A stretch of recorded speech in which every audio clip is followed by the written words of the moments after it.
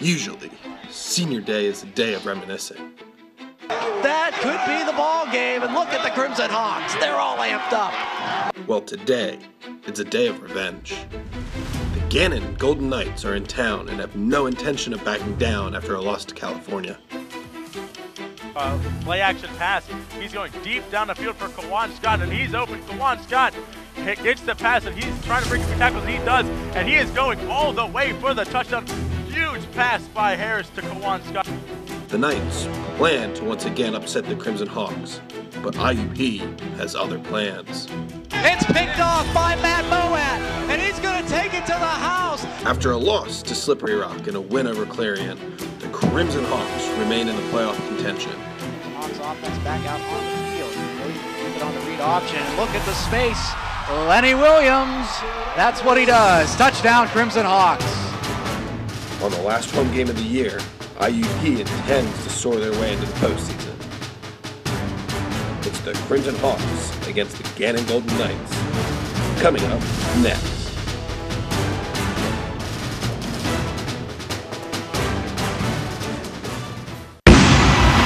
Play action pass. Got Brock there, but he decides to go end zone and finds Drew Carswell.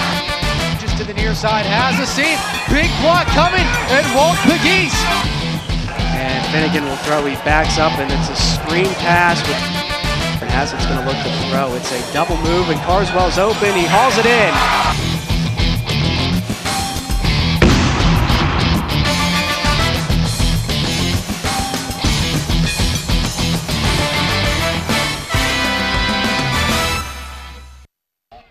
It was just nine short weeks ago where we opened our season here at George P. Miller Stadium for the IUP Crimson Hawks in Kutztown. Fast forward, and here we are, the 2015 season about to conclude here at home, and we welcome you into the Crimson Hawks Sports Network pregame show. With Eric Cormos, I'm Josh Hill. We're elated to have you with us for, like I said, the final regular season home game for the IUP Crimson Hawks. Eric, let's begin our pregame show looking at what everybody's been talking about over the past couple of weeks. The regional rankings, they were released on Monday, November 2nd. You take a look at the region rankings, and IUP had jumped up to number six in that poll. It's a big move for IUP, and you look at the changes this year at the NCAA instituted. The region actually now has seven teams that qualify for playoffs. The first seed uh, gets a bye that first week, so IUP sneaks in uh, this week now at number six, as you mentioned, Josh. So need to keep that forward momentum go going, keep going. And Slippery Rock also is another team from the PSAC that is in that regional rankings for playoffs.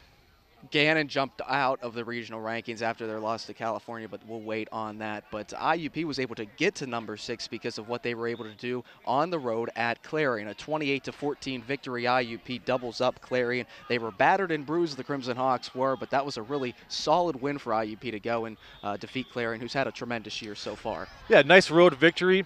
And you look exactly, you talked about Josh. Clarion's been a big surprise. They were 7 to 0. They've dropped a couple games in a row now to Slippery Rock and to IUP. But you look at uh, Uh, freshman running back Shannon Jackson stepped up in place of Chris Temple, rushed for 167 yards, and IUP able to come out of there with a 28-13 victory. And they even trailed that game at halftime, 14-13. So defense did a nice job of shutting down Clarion in the second half. Penalties kind of derailed the Crimson Hawks' effort in that game at Clarion. They jumped out to a 13-0 lead, but then the penalties started to to fly, and uh, it was just not good for IUP. They were able to come away with a victory.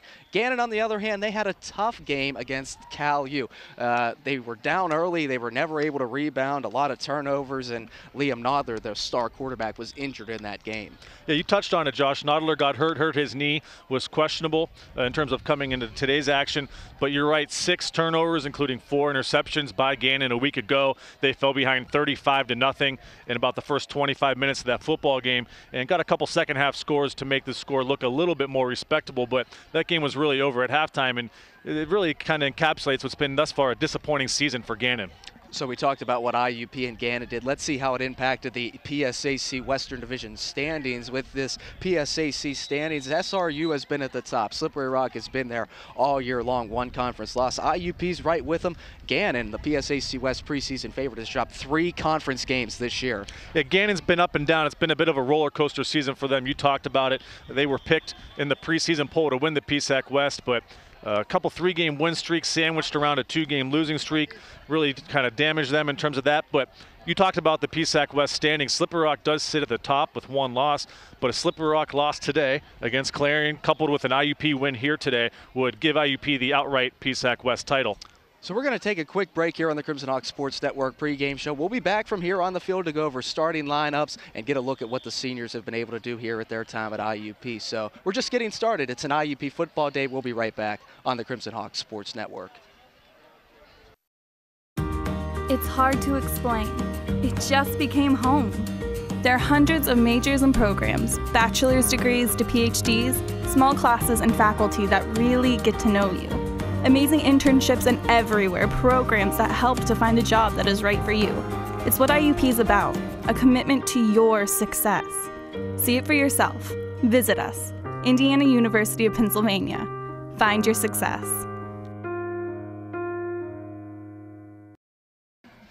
Welcome back into the Crimson Hawk Sports Network pregame show. We'd like to thank our hardworking men and women of our crew for putting this on here today. We're going to continue with our pregame show here, Eric, as the fans, or the band rather, makes their way out onto the field behind us. We'll start with the IUP Crimson Hawks offense. Look at that offensive unit. They're in the top five of the PSAC in rushing offense and also in total offense very nice balanced attack for IUP. You look at last week, leading rusher Chris Temple out with an ankle injury. Freshman Shannon Jackson stepped up, 167 yards rushing. And you look at quarterback Lenny Williams, he's that dual threat looking for his fifth consecutive game with over 100 rushing yards today. We're going to spotlight Lenny Williams a little bit more in our IUP team report here today, but the Gannon offense, they're an average unit, but they still have a lot of veteran playmakers on that side of the ball three seniors in particular you want to pay attention to. The quarterback, we touched on him a little earlier, Neil Nodler, or Liam Nodler, excuse me. He's Gannon's all-time leader in pass attempts, completions, yardage, and touchdown passes. In addition, running back Brock Jones, very talented senior running back, set the all-time single-season rushing record a year ago for the Golden Knights. And then senior receiver Destin Ham, the school's second time all-time leading receiver in receiving yards and career touchdown reception. So a very balanced attack led by three seniors. Yeah, so we look at both offenses. Let's look at how they compare statistically here in our offensive comparison. Both teams score around 35 points per game. Pretty solid offensive units. Yeah, all around, very solid. But what you're going to want to look at today, that matchup is going to be that IUP defense surrendering just about 20 points per game. Gannon giving up around 30 points per game. So we should see some points put on the board. Just pay attention to how well uh, Nodler is able to move around with that banged up knee. You talked about the IUP defense. Let's look at what they will bring out here today. Their starting IUP defense. The injuries have been a big force that IUP has had to deal with, but they've done a good job forcing the issue, taking the football away. Yes, they're second in the PSAC in terms of forced turnovers. And remember, they've played one less game than everybody else. They started their season a week late, and you see a lot of sophomores and freshmen making contributions, especially in the defensive secondary. So that's something to keep paying attention to as well. And then you look over the last four games, IUP has forced 40 tackles for loss. Mm-hmm. So something to pay attention to moving forward today. Can they disrupt that uh, that Gannon offense and get into the offensive backfield? The Gannon defense is another veteran group, and we look at a standout linebacker for the Gannon Golden Knights. That's Joshua Wycote. Recorded his 200th career tackle against Cal last week. Pretty good player for Gannon. Yes, another one of those senior leaders for the Golden Knights. He has five double digit tackle games though so far this season. So keep an eye on him in the middle for the Golden Knight defense. And now we'll look at how these defenses compare statistically. Uh, both teams are on the right side of the turnover margin. And what I mean by that is they're both on the plus side of the turnover margin. Anytime you can do that, you're on your way to winning football games. No, absolutely, Josh. And that's been something that IUP the last four to six weeks has really stepped up on the defensive side of the football. And Gannon, they've had some injury troubles on their side of the football in terms of defense, and they've been up and down. Uh, last week against against Cal, they gave up 260 yards rushing, which does not bode well when you talk about facing the Crimson Hawks with their number one uh, rushing attack in terms of the PSAC. Well, Eric, we've set the table. It's time to eat. IUP and Gannon coming your way right after this. It's Senior Day on the Crimson Hawks Sports Network. Squad deep at Miller Stadium. Walton will throw, looks left side, it's intercepted, and Dorian Lane is going to coast into the end zone. Teron Gibson, as mentioned earlier, a huge catalyst on this IUP defense. A third down and five for Chase. Snaps the ball with two seconds left on the play clock. Back shoulder throw, and that's a touchdown. Here once again to set up a screen. It's picked off again. Jordan Batts, look at the move, look at the speed. Batts is just tripped up.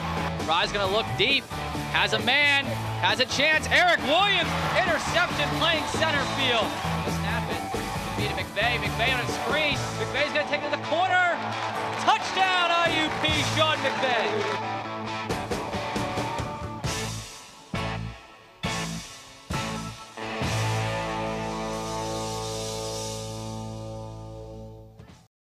I fell in love with the campus, with the people, with my IUP life.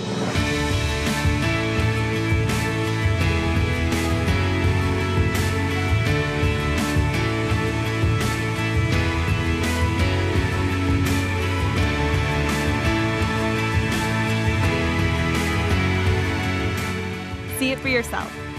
Visit us. Indiana University of Pennsylvania. Find your success. Tails, all right? Would you guys like Gannon? Is, Gannon is a visiting team. Would you like heads or tails? Tails is the call. Okay. Tails it is. Gannon, you've won the toss. Gannon won the toss. You want the ball? You want to They want to receive the ball. Which goal would you like to defend? You want to kick away from the scoreboard? You want to kick it this way? You guys kick it? Kicking to the east.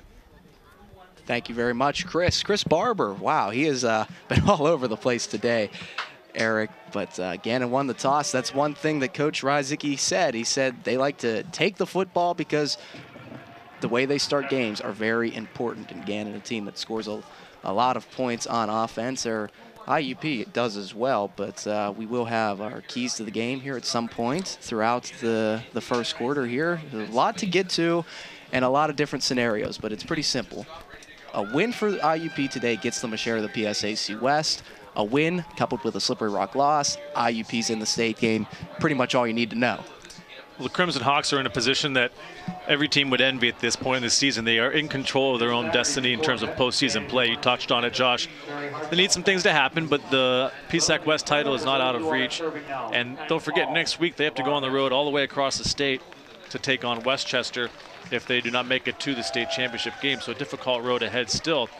But the number six seed in the Division Two Atlantic region, that puts them in the playoffs and an outside chance with a win and coupled with some losses of teams in front of them, you could end up hosting a, playoff game here in two weeks. So if you're IUP, you definitely need to keep moving forward because you are in control of your own destiny at this point. Two losses, if you suffer a third loss, that's that's going to take you out of contention for postseason play. Gannon is taking the football on a 50 degree day. It's cloudy and it's windy. The wind does swirl a little bit at times. That could have a little bit of a bearing on this football game. Sean Bowling handles the kicking duties for the IUP Crimson Hawks and back deep to receive for Gannon is Brandon Mansell and Mike Zanders, the talented defensive back. And the hit squad, as the Crimson Hawks refer to it, are coming out. We're underway on the Crimson Hawks Sports Network with space. Gannon is chopped down by Takai Turner, and we'll take a look at the Gannon offense led by quarterback Liam Nodler. He's a superstar, and he has been phenomenal all year long. Did suffer an injury last week at California. You look at Nodler, 6'7", 235, big framed quarterback. Gannon's all-time leader in pass attempts, pass completions, yardage, and touchdown passes, and also uh, a few weeks ago set the Gannon all-time all-purpose yards record as well. So a talented athlete. See what he can do here as a senior, leading his team into IUP. Hand it off to Brock Jones right off the bat, and Jones is up the middle.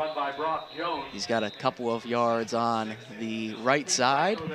But Gannon, as a team, they like to pass the football. They've been a pass-heavy team so far this year. You look at uh, what they've done through the air. Gannon averages 270 yards passing offense.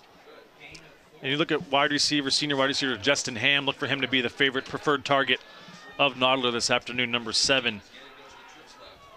There's a gain of four on first down, and that's the backup quarterback, Zach Phillips, in the football game. So Nodler was in for play one. Zach Phillips keeps it on the read option, and he's got nowhere to go. So a loss of five, and Gannon is backed up with a third down and long scenario right off the bat. Not the start that the Golden Knights wanted for sure. No, certainly not. And you look at Phillips, you mentioned him coming into the football game. He did throw a couple touchdown passes a week ago in the road loss, or excuse me, the home loss to Cal, but that was coupled with three interceptions. But he offers a little bit more ability more mobility with his legs than Nodler. Phillips is in the game right now for third down and long. Straight drop, looks right side, has a man there, and it's almost intercepted, but it's not. Allen Wright had the best position on the play, and Gannon will be forced to punt the football. Joe Subicki was the intended receiver, and here comes the punting unit for the Golden Knights. That's a dangerous throw by Phillips. The ball hung up in the air for a very long time, trying to hit his receiver on the far side line. But a nice job by Wright getting in there and knocking the ball away. And now for IUP, nice start defensively, three and out for Gannon. So we see this interesting punt formation. California did the same thing. Two punters are back for Gannon to punt. And they use Mullen there. He will boot it away, so he had a little bit of a running start. And it's down inside the 40, where we'll see the IUP offense for the first time, led by the favorite to win the PSAC West Freshman of the Year, quarterback Lenny Williams. Yeah, Williams comes into this football game. He's IUP's leading rusher. He's looking for his fifth consecutive game of over 100 yards on the ground. A dual threat quarterback. He can hurt you in the air and hurt you with his feet as well. The IUP rushing attack is something we've touched on all season long because they've been phenomenal. They average over 311 yards per game on the ground. Play action pass. Williams under pressure right away. He's got nowhere to go and he's dropped.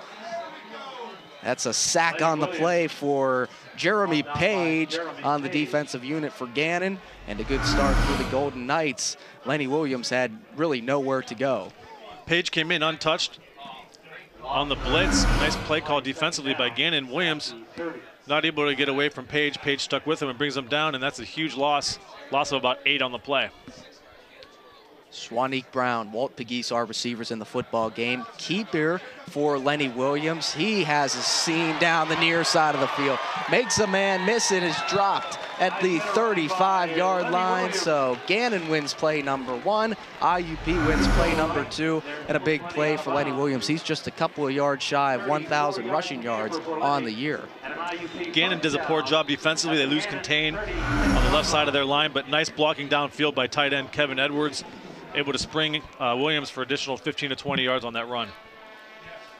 First and 10 for IUP.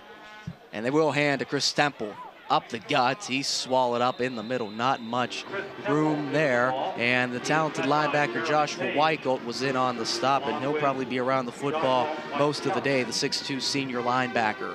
Yep, over 200 career tackles for Weichelt.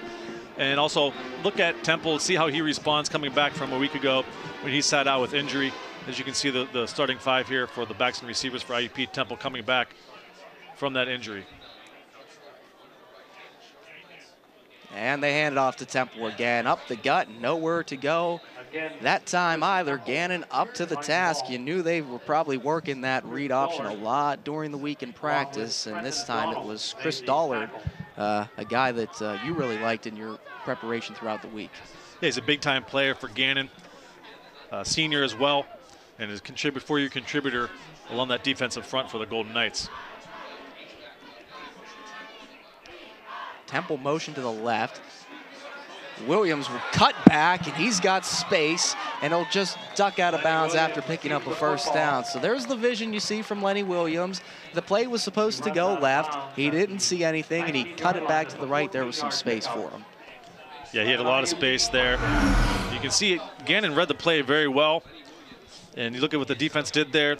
Trenton Donald did a nice job of cutting off Williams, but Williams would use his athletic ability, stop, reverse field, and get out of bounds, but not until after he had picked up the first down. Matthew Golick, the defensive end, the junior 6'3 loss contain on that play. Here's Temple, right side, nowhere to go for Chris Temple. And Gannon, you know they were looking at this running attack and focusing on stopping the run. They've done an okay job, but it seems like when they finally start to gain some traction, IUP on this drive has gotten a couple of big plays from Lenny Williams. Well, IUP yet to put the football in the air, and Gannon a week ago gave up a season worst 241 yards on the ground in that loss to Cal. So no doubt they took it as a challenge to come in here and stop the number one ranked IUP rush offense. Williams will throw quickly. It's a bubble screen out to Walt Pegues. Gannon is there, and they make the play. Rico right the second, was the defensive back in on the tackle. is another good one. Gannon goes with a bit of an unconventional defense. They play five defensive backs on any given play, which is interesting because in the PSAC, a lot of teams like to run the football. Yeah, it's more of a running conference than a passing conference. But with that reception, Walt Pegues has 20 consecutive games now with the reception every game since he has come into the IUP program. So good to see that happen early and Pegues continue with that streak. It's another third down for IUP. Williams keeps it up the gut, and he is close to the first down. I think he may have got it. Good second effort by Lenny Williams. He was stopped, but he drove forward, and he does pick up a first down. Crimson Hawks are moving fast. Mike Zanders was there from his defensive back position to make the tackle. And you can see IUP, this is what they do in the first quarter of games this season. Quick starts, 89 first quarter points, and well on their way to putting more points on the board here in the first five and a half minutes of this football game. Exactly right there. Temple breaks a tackle up the gut, buries the shoulder, and he's going to be marked just short. What a phenomenal effort by Chris Temple, who's back in the lineup today. Temple, 15 rushing touchdowns on the year. You talked about it, Josh. Did not play last week due to an ankle injury, able to break tackles and put IUP in position first and excuse me, second and goal now from inside the one yard line. Rex Pierce is in as an H-back. He's going to be lined up to the left side, and it's a pistol set. Pegues is the lone receiver. Hand off to Temple.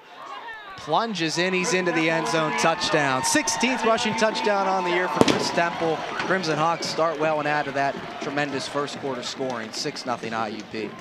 Nice to see Temple come back and contribute early on that first series. Between him and Williams, they touched the ball on every single play. And Temple easily able to get in there the, from the half yard out to put IUP up. And they go back to Ryan Stewart. I'm sure fans who have followed IUP all season long have known that the extra point and the kicking game has been, well, it's been a disaster, to say the least. I hate to say it, but I'm just speaking the truth here. Uh, Slippery Rock, Kutztown, Lock Haven, you, you name it. Number 88 defense. Half the distance to the goal. Retry. Gannon was trying for another block, and that was that was your man, number 88, your, your boy. Remember, he was uh, Chris Yes, Dullard. Chris Dollard. Yeah, you mentioned about what he did before we came on about how good he is as a special teams defender. He has two blocked kicks this year, most in the PSAC. So watch for him getting penetration, getting those big mitts up and blocking the kick. The extra point is good, and that's got to be a confidence builder. The coaches let up a, a mock cheer. 7 nothing. We'll be back on IUP TV with more Crimson Hawks football. Students in communications media at Indiana University of Pennsylvania can focus on a variety of areas, including media promotions. Our promotion students learn their skills by working in a hands on environment, gaining real world experience. They learn how to use media to promote, produce, and manage events, and how media organizations operate.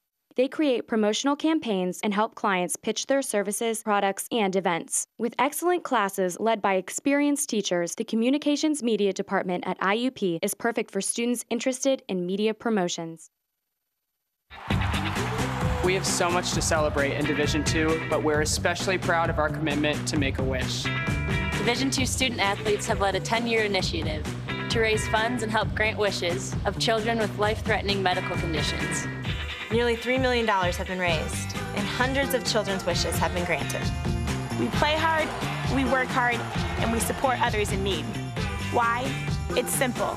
Because we care. Back on the Crimson Hawks Sports Network, there's Chris Temple. 16 rushing touchdowns on the season. Bowling sends it away.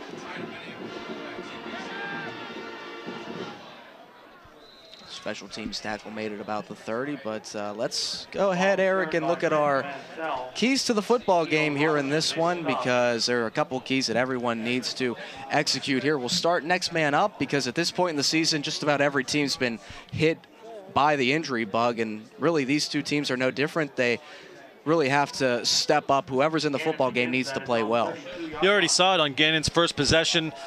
Uh, Nodler started the game, and then Zach Phillips, who's in now again at quarterback, has to come in because Nodler hurt that knee a week ago at Cal. Obviously, not 100% today. So Phillips will throw it out short, and slipping on that one was Brandon Mansell, the wideout there, number 21. Next key for the game is the number 10. That's referring to the number of seniors here for IUP. And also, Eric, an interesting number. That's how many players have rushed for at least 100 yards under head coach Curt Cignetti. So pretty impressive. IUP has been a rushing football team. 10 players have at least 100 rushing yards. So it's a second down and long. Phillips has to step up. He's got a little bit of space and he slides down to not take the hit from Dorian Lane. He was closing quickly. And our final key is third down because success on third down is going to be very important for both teams. The IUP defense is third in the PSAC and 17th in the country, allowing opponents to just convert under 30% on third downs. And they need to stop right here on a third and nine. When you look a week ago, IUP only allowed three first downs out of 14 conversion attempts to Clarion. Let's see if that trend continues here today against Gannon. So Zach Phillips has been the quarterback here other than play number one. So technically Liam Nodler started the game, but Phillips is in the freshman. Nodler, or Phillips rather, has got nowhere to go. And DeAndre Easterling, we talked about how much we liked his performance last week against Clare, and He comes in with another sack. Yeah, that's Easterling's fifth sack of the season. Also seven tackles for loss. He's done an outstanding job, really coming on strong the second half of this season as a true freshman. And again, another one of those young contributors on the IUP defense. But Phillips, there was just no time for him to do anything. As soon as he dropped back, planted that back foot, Easterling was there to gobble him up and bring him down. Justin Weldon also back in the lineup. He did not play last week at Clarion. So he and Easterling combine for the sack. Another punt, and this one's really a short one bounces at midfield and takes a nice Gannon bounce. Hits a player, but IUP will get it with pretty decent field position, and they'll look to add to their phenomenal first quarter. Mm, offensively for IUP, you have to be very happy with your starting field position. The first drive started at the 38 yard, your own 38 yard line. Now here you are at your own 44 yard line after a couple of poor punts by Gannon. And IUP likely is just going to keep the football on the ground and keep running here. And why not? When you lead the PSAC and rushing yards per game and you've got your number one back returning this week in Chris Temple, that's a recipe for success. So already Gannon has not been able to execute their game plan because they were trying to contain Lenny Williams with his legs. Play action pass. Williams stands in the pocket, delivers a strike. Pegues hauls it in, and look at him go. Walter does it again. The big guy. Touchdown Crimson Hawks. One-on-one -on -one coverage. Pegues runs a slant. Nice recognition by Williams. Pegues is able to create separation from the defensive back. Breaks the tackle, and there's no safety behind him to get past, and he's gone. The 44th play, that is over 20 yards for IUP. That one of the 54-yard variety. IUP is rolling here on senior day. It's 13 to nothing already. Extra point on its way. The defensive back Foster Resner just not able to keep up with Pegues. Stewart drills it. IUP two of two on PATs. They're playing well, 14 to nothing. We'll be back on the Crimson Hawk Sports Network. I fell in love with the campus, with the people, with my IUP life.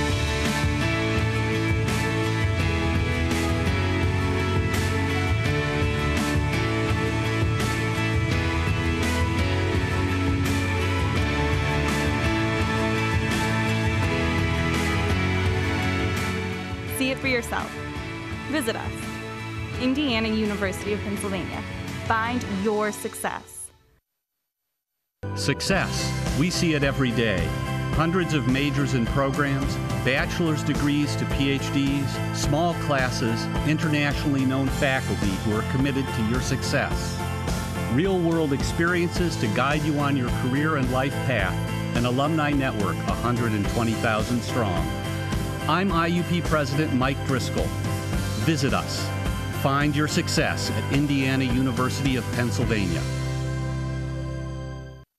Welcome back into the Crimson Hawks Sports Network for Senior Day. We'd like to thank all our seniors on our crew for helping us out all year long. 14 to nothing, the IUP Crimson Hawks lead a 54-yard touchdown pass from Lenny Williams to Walt Pegues, and it was only a one-play drive for the IUP Crimson Hawks. Walt Pegues, his third touchdown reception of the season. Bowling sends it away in the end zone. Right side return, and he'll be dropped just past the 20-yard line, just shy of the 25. So Gannon, they've got to get something going offensively because the Crimson Hawks are playing pretty good on the offensive side of the football, Eric. You talked about it earlier. IUP 89 first quarter points coming into this football game already with 14 today, and you're Gannon. You're staring at a two possession deficit. Barely not even nine minutes into this football game. You have a backup quarterback in. It's important, just if nothing else, just to get a couple of first downs on this possession, build some confidence, and try to switch the momentum back to your side. Phillips hands off over the middle. And that's the backup tailback, Tyler Johnson. So they work, well, I wouldn't say backup, probably the 1A back because they work both Brock Jones and Tyler Johnson. Normally they're in the football game at the same time. Yeah, a lot of discussion and talk about Chris Temple and the IUP running game, and it's well deserved. Look again, also pretty good success in the first quarter of the season, 73 first quarter points. But Brock Jones and Johnson, nice one-two combination for Gannon at the running back position. Zach Phillips is a freshman, and he's going to put the ball in the air. He's a mobile guy as well. You see him scramble to his right, and he'll throw it away. Pressure closing in on Phillips. He had to get rid of it. And no time for Phillips to set up. The pocket collapsed early, and he had to just throw the football away. And now here you are, you're set up with another third down opportunity for IUP's defense to get Gannon off the field. And let's see if what the limitations are with this freshman quarterback Phillips in this football game. You talked about Josh Nodler, 41 career starts coming into today. Obviously, he's, he's going to have more familiarity with that playbook. Gannon already 0 of 2 on third down. We'll see if they can convert one here. Throwing underneath, pass is complete, and that's the wideout Eli Quinter. Pass was a bit behind Quinter, but he fell and made a pretty nice reception. Yeah, ball thrown just behind him, but Quinter did a nice job, stuck with it and picked up that first down. Now you're Gannon. You can breathe a little bit. You have a first down. Keep the chains moving. Now try to move forward. Phillips, read option, shakes a tackle, running right side. Eric Williams sends him out of bounds hard. He ran into a chair down there. Oh my goodness. Eric Williams chasing Phillips down, and he's uh, letting Phillips know how he feels. Williams, one of the 10 seniors today, redshirt senior, missed last season came, comes, has come back this season and made some nice contributions. And that's a physical safety right there. You can see it's the type of play he likes to enforce out there. You see the team speed of this IUP defense. Phillips was able to shake a tackle of DeAndre Easterling, got to the corner, but was still only able to pick up one yard on the play. Another shotgun set, and like most teams, Gannon a spread style of attack. Second down and nine. Phillips has to step up has a little bit of room, but then Miles Catlin sends him to the turf. And some good instincts by the freshman. He felt the pocket collapsing and tried to pick up some yardage with his legs. He's been having problems with the pocket this entire football game. IUP's defensive front has done a nice job of controlling the pace. Gannon converted their first third down of the game this series with a pass to Eli Quinter. Gannon still with 15 seconds on the play clock. They're up at the line making their adjustments. Play action over the middle. Pass is tipped and incomplete. He was looking for his big tight end there. That's Will Davis, the sophomore, and the IUP linebacking corps was there on the coverage. Again, some pressure on Phillips. He wasn't able to set himself in the pocket. He had to move forward, try to hit Davis while he was moving. Davis unable to bring in the pass. But if nothing else, at least Gannon was able to flip the field and get up towards midfield and see if they can pin IUP back deep in their own end with this punt. Jared Morrison and Karch Holland are the punters. Techni technically, Holland is the kicker and Morrison is the punter, and they snap it to Holland there, and he sends the rugby-style punt off the hop. Pegues will take it and pick up a couple of yards and step out of bounds. IUP will get it back. It's first and 10 for IUP. They've put up two touchdowns already on as many possessions in this football game. Senior day here at IUP, also Military Appreciation Day in Eric. It's a really good timing for the Crimson Hawks, the last regular season home game about a week out from Veterans Day, so IUP with a nice gesture deciding to uh, honor some of the military personnel and the ROTC here at IUP. It just really can't go wrong with that. Yeah, ROTC program at IUP is very big. Students come here from other universities to participate in it. Williams will throw underneath to Schwanik Brown. Brown lunges for the first down and picks it up. So that's what the Crimson Hawks are all about, the quick strike, play action pass to suck the defense in and let Lenny make his decisions. Williams looks more confident when he's throwing the football now. It's part of the progression, the natural progression. After being named the starter, is getting more reps now, but just looks more comfortable in the pocket and making quick decisions with the football. One thing we didn't mention is that Jorge Vicioso, the senior right tackle, is not started and he hasn't been in the football game at all today. Temple churns his way just shy of the 45 yard line. Give him a couple of yards on first down and Crimson Hawks, you see, it's still incredible to see going from two tight ends and two backs all the time to this up-tempo style. Still haven't gotten used to it all season. Well, it certainly worked. You look at in 2014, IUP offensively averaged 25 points a game. This year, a 10-point increase over 35 points. So a very good decision bringing in offensive coordinator Marty Higgins. His system has certainly worked here.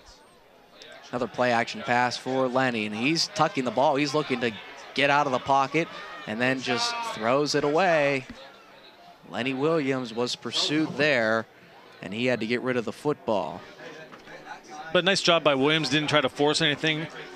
Able to use his legs, get to the outside, then wise it and dump the ball into the sideline. It looks like IUP might.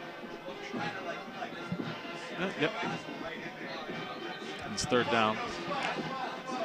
Lenny was pursued by Max Owenye, number 68. The defensive tackle was chasing Lenny down, and uh, Max is a big boy, so he had a lot of ground to cover there. The sophomore 6'2", 320 was trying to chase Lenny Williams, 5'10", 195. That's what the game of football will do. It's a third down, IUP. Straight drop for Lenny. He's looking deep once again. Pegues has a step, and it's just out of his hands. Good decision. Lenny found the single coverage, but just overshot Pegues a little bit too much. You can see the matchup that they're looking for. They're looking to get Pegues in space downfield. Let Williams throw it up and let him go get it. Pegues already with that touchdown reception earlier today. Big play capability for him, but Williams, nice confident throw down that sideline. That's the first time that IUP has not converted a third down so far today. Jordan Spangler will punt. Matt Spiegel was injured. He was supposed to be a senior, but he may get another year of eligibility with, with an injury to, to Matt Spiegel.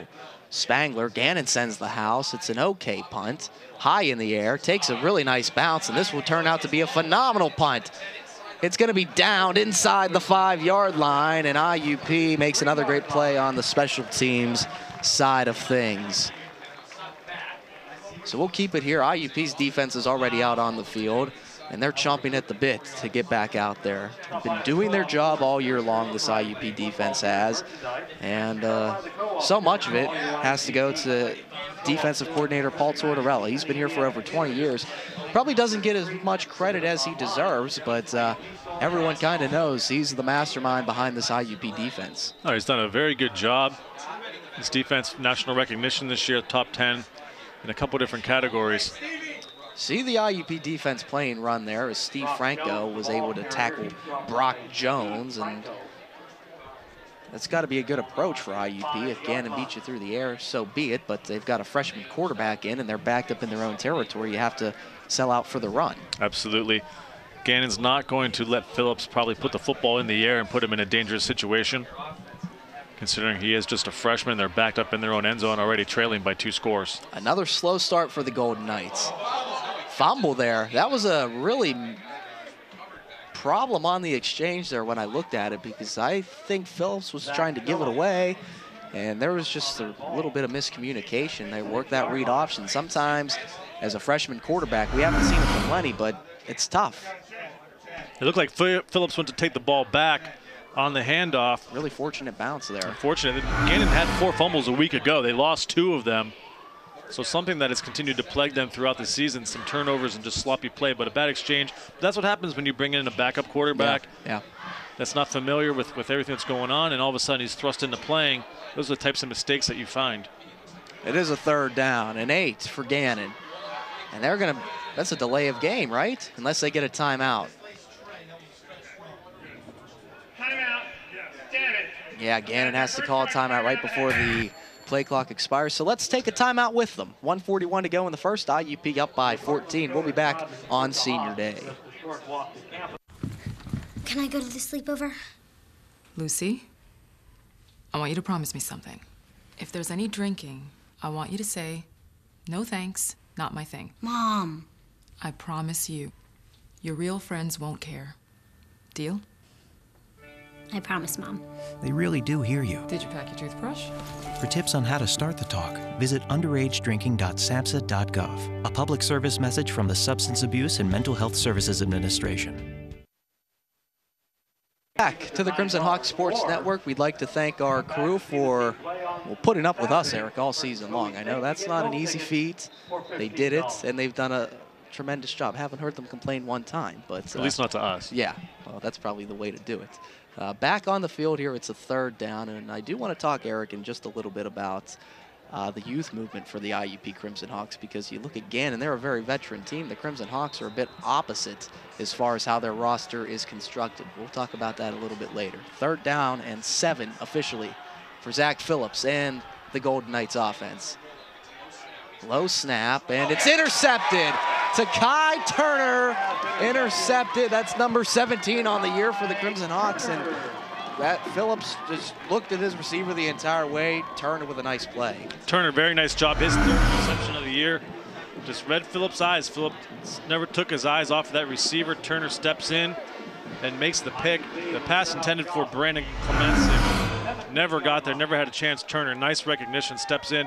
And another one of those young players, underclassmen players for IUP. You alluded to that a second ago, Josh, making contributions for the Crimson Hawk defense. Absolutely, and that's one area of the field you don't want to throw an interception. You never want to throw an interception anyway, but you get what I'm saying there in the red area. Sets IUP up in pretty good field position. They're inside the 20. Williams will keep it on the read option, and Williams is chased and dropped to the turf there. A couple of yards for Lenny Williams, and Rico Wright was there to make the stop along with Matt Astorino. Sean McVeigh comes out of the football game. He's one of the seniors. It'd be nice to see him try to get in on this this uh, scoring action. He's only got one reception on the year. That was against California. It's second down and about eight, we'll call it. Lenny Williams, three of five. Hands off to Chris Temple. Temple cuts up down near the 10-yard line. Nico Mendieta made the tackle, the linebacker for the Golden Knights. And let's see if Gannon now can make a stop. You're looking at a third down, about four, five, years, five yards to go. Let's see what Gannon's able to do here. But IUP, this, again, this is where Williams just becomes unpredictable for the defense. Is he going to keep the football? Is he run the football? Look. An interesting look for IUP. They take out the tight and the fullback, and they go with an extra wide receiver, a couple of extra wide receivers, in fact. Sean McVeigh lined up to the bottom of your screen. High snap for Williams. He has to take it, cuts back, and tries to make some moves on somebody, but Gannon closes in and makes the stop. Coaches are all fired up, and Mike Zanders makes a tackle in the backfield. Give credit to the Gannon defense. They could not afford to give up a touchdown to IUP on that possession. They would have been down three scores. And nice job by Matthew Golick on the defensive line. He held contain on his side, did not let Williams get around that corner. And then Xander came up, stayed patient, and brought down Williams. Nice job by the Gannon Golden Knight defense. Another timeout on the field before the end of the first quarter. So let's step out for 30 and come back with the conclusion of the first quarter on Senior Day. We'll be back on the Crimson Hawks Sports Network. It's hard to explain. It just became home. There are hundreds of majors and programs, bachelor's degrees to PhDs, small classes and faculty that really get to know you. Amazing internships and everywhere programs that help to find a job that is right for you. It's what IUP is about, a commitment to your success. See it for yourself. Visit us, Indiana University of Pennsylvania. Find your success. We are back on the Crimson Hawk Sports Network. It's IUP and Gannon here, the final regular season home game for the IUP Crimson Hawks. And probably our final broadcast of 2015. Doing basketball in the spring fi final broadcast here. IUP will send in the field goal unit here. Four seconds to go in the first quarter of play. And Stu steps into this one.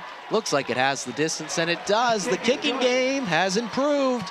17 to nothing at the end of one. We'll be back on the Crimson Hawk Sports Network.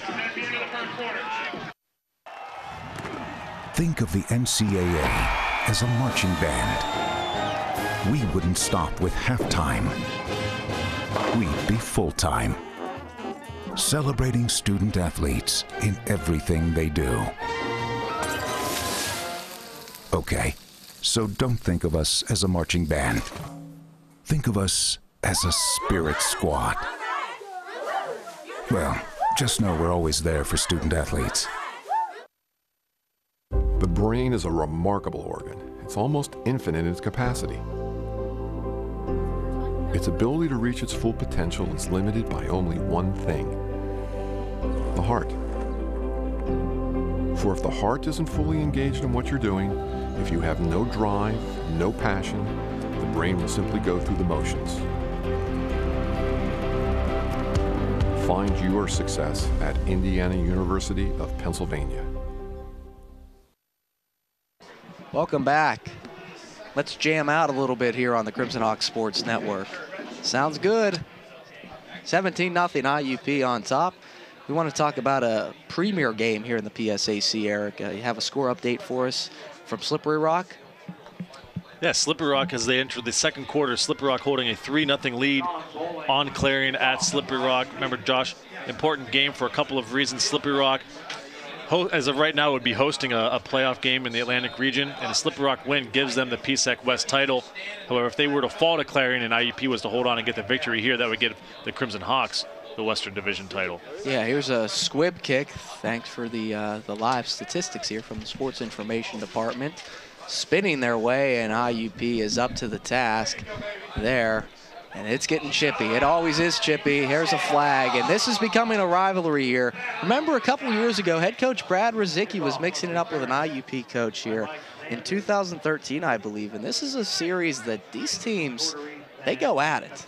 So we've got some flags, and we'll sort this out. Referees are conferring, and uh, as they do, now would be as good a time as ever to look at who our officials are. The referee is Michael Quinn, and he's the one that will be making the call.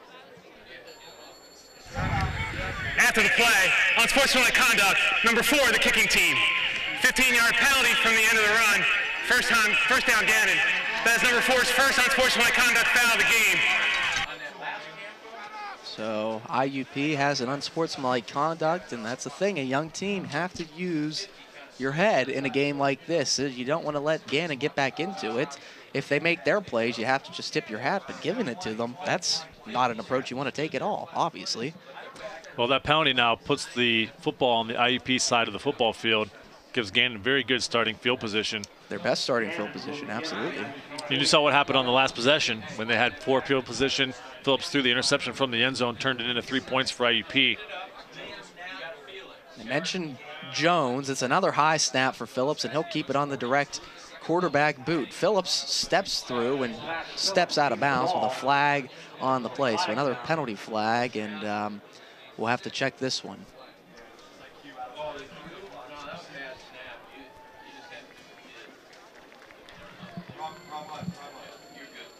There's a high snap on the Holding, play. number 25 offense. 10-yard penalty. First down. And it was interesting. Wonder if that was a design play call where Phillips had to kind of call an audible mid-play because the snap was high. Really have to wonder if that's what Gannon had called. They get a holding penalty and uh, give back some of that personal foul penalty yardage regardless. Well, anytime there's a high snap, it's going to disrupt the rhythm of the offense. Mm -hmm. And if you're Gannon, you have to put Phillips in a position to succeed. And high snaps are not going to help out this young quarterback. He is a freshman, 6'2", 195. Handed off to Brock Jones. He spins his way up past midfield and into IUP territory. Jamal Everett. Jamal Everett's back in the football game as a defensive lineman, and he makes the stop. IUP, they have a lot of versatility on the defensive line. They've had 11 players who have played, but last week at Clarion, they were absolutely uh, uh, taken to the limit, kind of stretched thin because there wasn't many players healthy. They had to activate a couple of players just to, to have enough healthy bodies on the defensive line. Phillips will throw on second down. Pass tipped high in the air. Is it picked? No, it's not. Aquino Robertson had an opportunity, and it was a nice job by the receiver Brandon Mansell to, to tip that ball away from Robertson. Dangerous throw by Phillips into coverage. And once that ball gets tipped up in the air, you don't know what's going to happen. And Robertson not quite able to come down with it. Another third and long situation for the Golden Knights. Crimson, Crimson Hawks are not afraid to play man on the defensive side of the football, so they'll play man and they'll send a little bit of pressure, you would have to think, at this freshman quarterback. Phillips with a straight drop has to step up, step up again. No holding penalty. That's what the coaches wanted. Jordan Batts would put his arms up in the air as to signal, I was held on this particular play. But Gannon doesn't pick up the first down nonetheless. It's a fourth down now. And there you see it. Yep. Well, nice job by Moag getting in, collapsing that pocket from his left defensive end position. Able to force Phillips to go up the field and slide before he gets to that first down marker. And now Gannon going to go for it here, kind of in no man's land at the 39-yard line. Too far for a field goal, but you don't want to waste this good field position that you have. Absolutely right. Wide receiver Justin Ham's been quiet. He's lined up to the bottom of the screen. He looks that way, but Eric Williams comes in and gets the sack, and the safety says, feed me more. Turnover on downs. Crimson Hawks have the football back. The senior showing out here on senior day. He's been phenomenal all year long. And Phillips forced to hold on to the football. Good coverage. Look to his right for his receiver, unable to find him. And Williams from that safety position on the blitz gets the big play and forces a turnover for the Golden Knights. Lenny Williams and the IUP offense back on the field. They've been good. 17 to nothing. The kicking game's been much improved too, which is something IUP certainly had to work on. Hand off to Temple. And Gannon is up to the task defensively there. Temple really with nowhere to go. Nico Mendieta made the tackle for the Golden Knights. They've actually done a pretty good job of bottling up Temple. I agree. Thus far this afternoon. You have to wonder, you know, what's the condition of Temple's ankle? Is it 100% today? Is he playing at 80%? But Gannon, thus far, give them credit. Nice job containing. Yeah, Temple, eight carries, only 18 yards, so 2.3 yards per carry. Quick hitter there to Swaneek Brown. Tries to duck a man, but is able to pick up a first down. And if Swaneek would have been able to break one more tackle, he could have had some real space to run. That's essentially a run play. Look at Brown lined up on the outside. And Gannon's defensive back, A.J. Satcher, gives him about 10-yard cushion. Mm -hmm. That's an easy throw for Williams, and that's a guaranteed six or seven yards. It's basically just an extension of a run play. Another first and 10, and that's been the theme. IUP, all the talk has been made on their running attack, but this is a pretty potent passing attack as well with a lot of viable options. Temple cuts it past the middle and then buries the shoulder and picks up another first down. Rico Wright was there to make the tackle, and Chris Temple with some nice running and pretty good vision by number 27. Nice job by Temple. He attacks the hole, gets upfield. Nice block. Very nice blocking, especially from Gabriel Diaz. Up that hole on the right side, and Temple able to get through there and pick up a first down. Diaz is in for Vicioso as well, which is certainly something to mention, along with Tony Morgante on that right side. Williams keeps it. He's got space on the far side of the field. Drops the shoulder and picks up about five or six yards there on that one. So Lenny Williams, you hand it off to Chris Temple, you hand it off to Chris Temple, you do a play action, but then one play, you keep it. And that's kind of the style. It's a play that Lenny Williams has to make the decision, not necessarily called in from the booth. Lenny, they give him the freedom to do what he does. And as the season has progressed, you can see he's built some confidence with the coaching staff. You talked about it. But he has that athletic ability. It was a one-on-one situation with Trenton Donald on the outside, the Gannon linebacker, able to use that athleticism to get around him and pick up good yardage.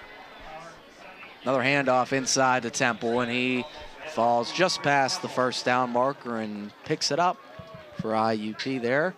Chris Temple hasn't been great, but he's picked up some key first downs and has a touchdown run to his credit.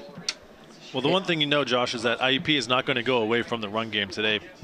Temple, the big yard, big run of 13, nine carries for 32 yards, but they're not going to shy away from that. Now you can see Luigi Listabrinza has checked into the game at tailback. If you just joined us, the play of the game has been a 54-yard pass play from Lenny Williams to Walt Pegues. Williams throws underneath, it's short. Rex Pierce was the intended receiver. And coming into the year, I really thought that Rex Pierce was going to be a, a big part of the offense as a uh, as a fullback slash H-back type of guy. It hasn't really worked out that way thus far. IUP going to that spread offense. The fullback H-back has not been featured in the offense, but Williams had Pierce open on that play. It's a low throw at his feet, and Pierce not able to scoop it up. Lenny certainly will take the blame on that one. IUP sends in a couple of extra wide receivers, among them Sean McVeigh, also Isaiah Mims. Trips formation to the near side of the field on a second down and 10. Luigi Listabrinza is in the game. It's a high snap, quick bubble to Walt Pegues, and Pegues has got nowhere to go. Mike Zanders made the tackle, and you know Gannon was prepared for that because of what Walt Pegues did against the Golden Knights last year with 13 receptions up in Erie last last season. At Pegues, IUP's leading receiver. If you take the next two receivers on IUP's roster and combine their total receptions, they still don't equal the output that Pegues has had this season. So definitely the focal point of the IUP passing game is the young sophomore. And we talked to Walter during the week, and he said that as a leader on the receiving corps, as only a sophomore, he still is a leader. He really had to step his game up and kind of lead the uh, entire receiving corps. Third down and long. Williams will look right to Pegues, but he's got to scramble as he's flushed. Still looking downfield, throws incomplete, flag down on the play. So once Williams left the pocket, all you know what broke loose, and Williams had to throw it underneath. Number 74 offense. Penalties decline. Fourth down. We'll bring up a fourth down in a long field goal. I don't think they're going to even consider kicking a field goal here. Maybe they will. Yeah, they will send out the field goal. The IUP offense stayed out on the field looking to the sidelines like, what's the play? But they will send in the field goal and try to go up by 20 here. Stu, Ryan Stewart will kick. Has really rebounded since that game at Slippery Rock. Hate to quit harping on it, but that's just the way of the, the world sometimes. It's a 35-yard attempt for Ryan Stewart. And it's long enough, but I think it's a little bit wide to the right. And no, it's good. It sneaks through. Sneaks him through the right upright. 20 to nothing. We'll be back on IUP TV.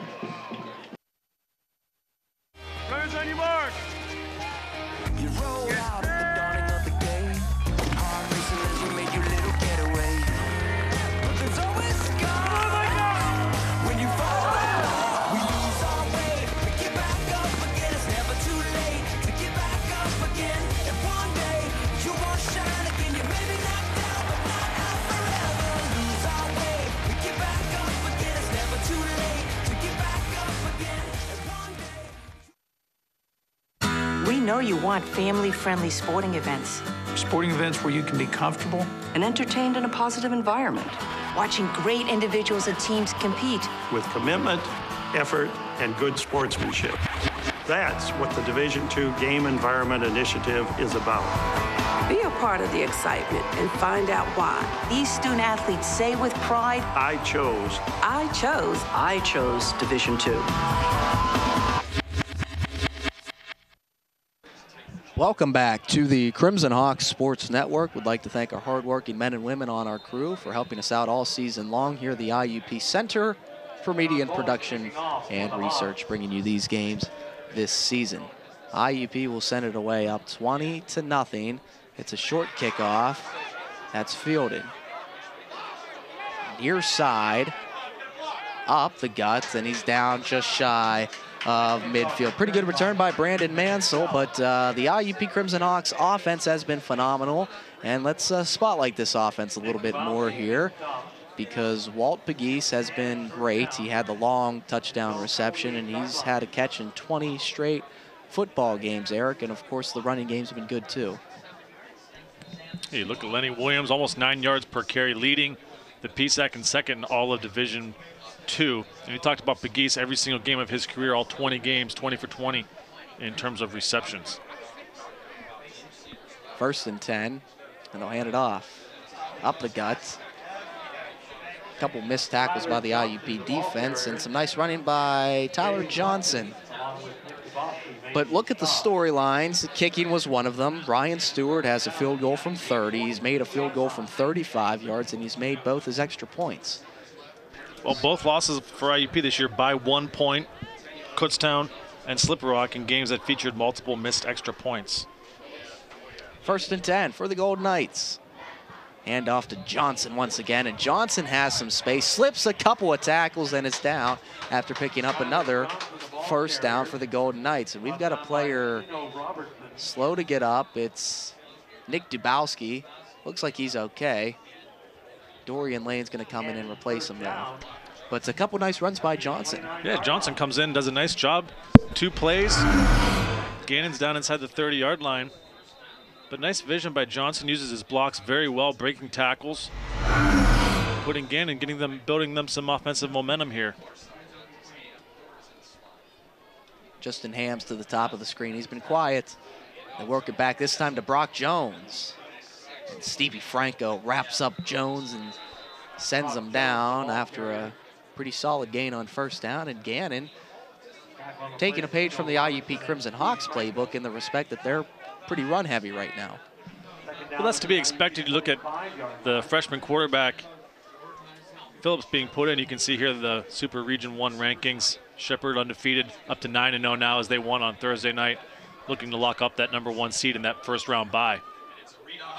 Great option. Phillips has the space, and he's down inside the five yard line. And a perfect look for the freshman, pulling the football, taking it down. First and goal for the Golden Knights, and they've got a little life here at Miller Stadium. Not bad at all by the freshman. And nice blocking outside by Ham, the senior wide receiver, allowing Phillips to get upfield and put Gannon in good position. Gannon moving fast. Another keeper for Phillips, and that time IUP's not fooled.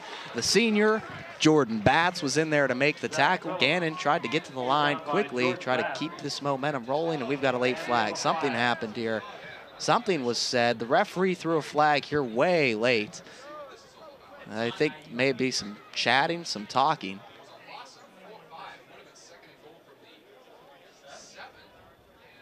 So on a first and goal play, Phillips is dropped in the back. After the play, unsportsmanlike conduct, number 23 defense. Another on Penalty being forced half the distance to the goal, automatic first down. So at the very least, it gives Gannon a fresh set of downs, and that's another unsportsmanlike conduct penalty on the IUP Crimson Hawks. And that one on Aquino Robertson. Moves the ball down to about the three, four yard line, setting up a first and goals. They get a first down automatically on the on the penalty. Not smart play by Robertson. Something a redshirt junior should know better than doing that. Especially talking right in front of the referees like, like he did. Hands it off to Jones. Is he into the end zone? He is. What's this referee doing here? Okay, he is. He was signaling one second that the, he was down at the one. Then the next second it was a touchdown, and it is a touchdown. So Brock Jones on one of the rarest touchdowns you'll see there because the referee didn't know what he was doing. Call a touchdown. Gannon's on the scoreboard. Gannon. You should have seen the referee on the near side, Eric. I don't know if you saw that or not. Yeah, I saw him. He came running in with both hands up. The far side official had him marked down at about, looked like less than a foot. But the near side official came in very confidently and gave Gannon the touchdown. Extra point is banged through. Gannon is on the board, 20 to 7. We'll be back on IUP TV. I see trees of green, red roses too. I see them bloom for me and you. And I think to myself, what a wonderful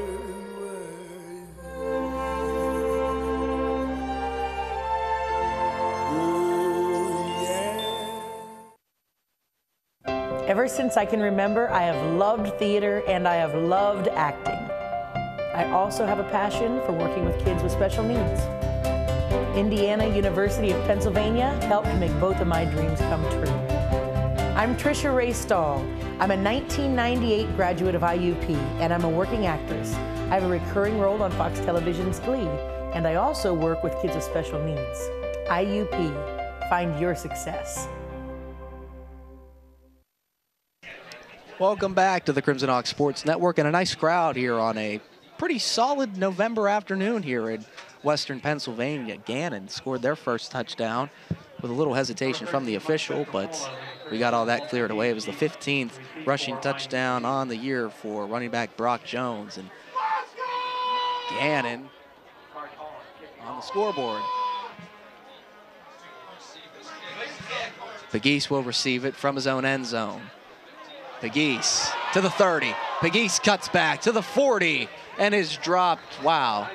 Pegues went from 0 to 100 real quick and uh, had a pretty nice return there for the Crimson Hawks. A very nice return up the right sideline by Pegues. Used his speed. And able to create good field position for the Crimson Hawks as they start out at their own 40-yard line. Update here from Slippery Rock. Right now, the 10th ranked Rock up 10 to 7 over Clarion. So that will be a score we continue to watch throughout the broadcast here today. The IUP Crimson Hawks have the football with quarterback Lenny Williams and sophomore tailback Chris Temple in the backfield. And it is Chris Temple on the near side of the field. Someone falls down. Temple breaks a tackle to the 40 and is down inside Gannon territory. Another tremendous run by Chris Temple, and we've got a player injured. Rico Wright is hurt. He looks to be hurt pretty bad here. It looked like a, a non-contact injury for Wright. He was coming in to make the tackle and just went down and was able to unable to make the play in, in obvious pain. I hate to see that, especially from a senior.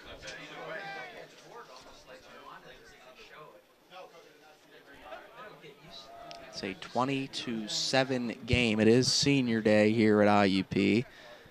Perhaps the final broadcast for us this year. IUP has the possibility. It's a kind of a long shot, but they still can host a playoff game here in Super Region 1. They have to win this football game and uh, Wright's going to yeah, Wright's going to be helped off the field here with uh, his teammates. So let's go ahead and step out for a little while here, come back uh, on the Crimson Hawk Sports Network. We'll be right back.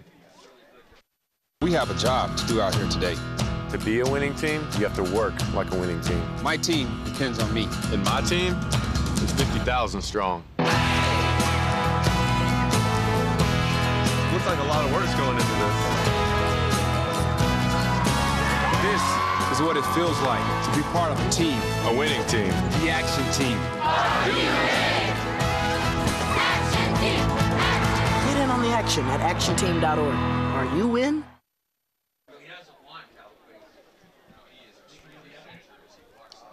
Welcome back in, back into the Crimson Hawk Sports Network on IUP Senior Day. It's Military Appreciation Day, and Rico Wright still gingerly moving off the field. He is uh, off under his own power, so that is at least a good sign there.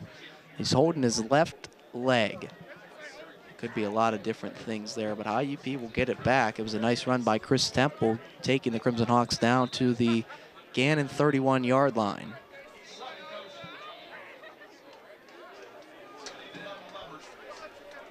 And Temple with that big first down run, putting IUP first and 10 at their own 31, or excuse me, the Gannon 31.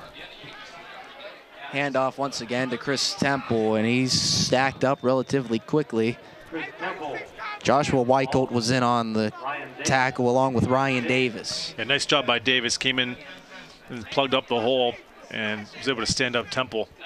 And the rest of the Golden Knight defenders came in and tackled him. But nice job there by Davis and Weichelt. Rico Wright, the guy that was injured on the play, is one of those exports, so to speak. He's from Los Angeles, California, one of a couple of different guys who are outside of the Western Pennsylvania area. Another quick hitter to Swaneek Brown. And Swaneek's had one of his better games in an IUP uniform. The coaches going to him a couple times, and with the soft coverage, why not? It's easy throw for Williams and good recognition by the quarterback as well. And Brown, that big frame, able to reach out, extend out the football, and pick up the first down. third reception of the day for Swanee. First and 10. Ball rests just outside the 20-yard line. Rex Pierce is an H-back in the football game to the right side. Sean McVeigh comes in motion from near to far. Temple up the gut, and he's hit and dropped. Justin Brown made the stop, and I think Brown came in for right. Am I correct, Eric? That is correct. So Justin Brown, you look, he is filling in for Rico Wright. Brown from Stafford, Virginia, freshman.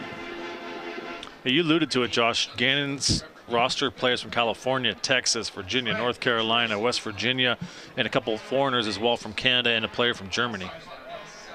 Second down. Temple once again, and the defensive line of Gannon. Really have to give them credit. They've done a nice job. I really am impressed with what they've been able to do. Chris Dollard made the tackle for Gannon. Now third down and, a, and less than five. And let's see what IUP does here. They've, they've liked that option read, that read option that Yes, Williams yes, has been doing yes. on these third downs. Let's see if they continue with that. Maybe look for one of their tight ends, Pierce, in the football game along with Kevin Edwards. Yeah, too tight in the football game. Pierce and Kevin Edwards. And they also work that passing look off the, the zone read. Big play for Gannon if they can get it, but they can't here because Lenny Williams keeps it himself and picks up a first down. Gannon really needed that stop here because uh, here with time closing in on the first half, they wanted to try to get the football back and get some points, but IUP is driving in position to put up six more. Your IUP stick with what works, and Williams has done a nice job on that option, able to get around the outside, get around the defender Matthew Golick, and pick up the first down. And now you're looking at a first and goal situation. And you see how Lenny kind of attacked Golick to make him slow up just a bit, and then that burst, that quick step just to get around him. That's just that pure athleticism that we've seen all year long. It's a first and goal. Turns and hands to Temple. Flag coming in. Temple dropped inside the five, but uh, penalty flag may bring this one back, and the one referee signaling holding. Holding, number 65 offense, 10-yard penalty, first down. It is a holding penalty on the IUP Crimson Hawks. It's 20 to 7 here at Miller Stadium. Final regular season home game of the year for IUP. So this is an interesting scenario. You're first in goal, but the ball's at the 17-yard line. So some ground to travel for IUP. And they'll bring in a couple of extra receivers here. Swanik Brown has been active here at the bottom of your screen. Chris Temple is the tailback. Now under four minutes to play in the first half.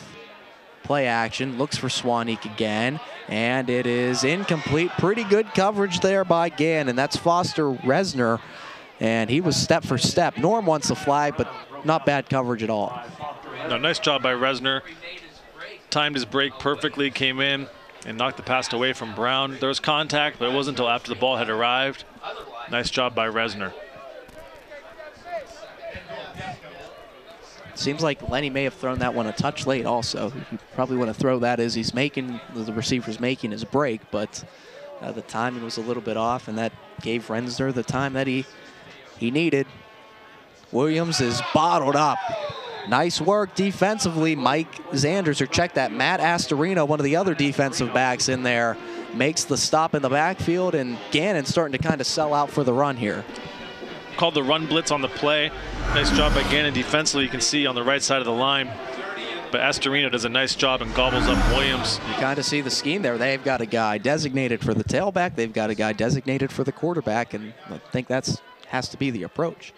Time ticking away in the first half, and IUP's really in no hurry. They come to the line with 13 on the play clock, so they may have to step up their, their pace a little bit here. 2.55 to go in the first half. Temple has it, up the gut. He's driven down by Weichelt. And the talented senior makes the tackle. Gannon will uh, take a timeout.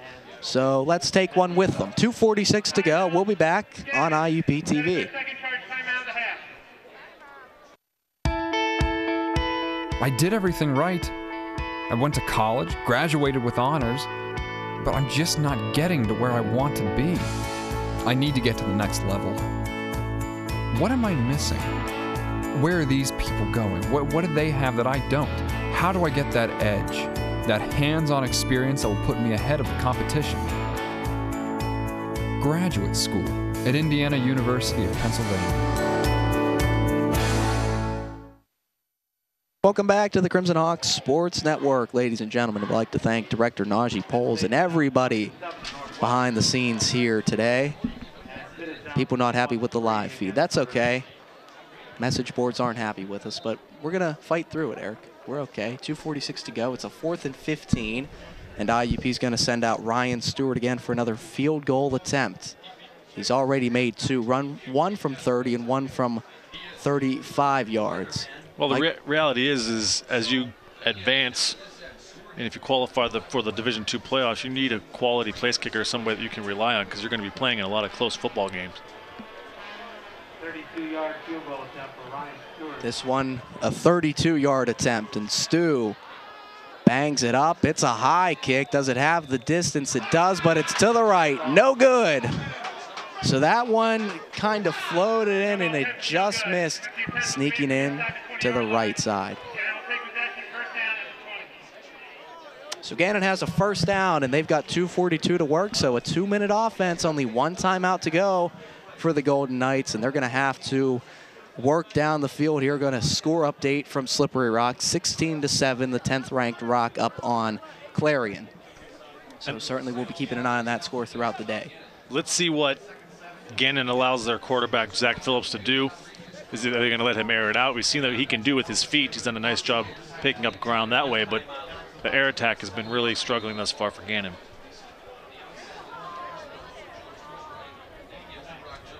Handoff to Brock Jones.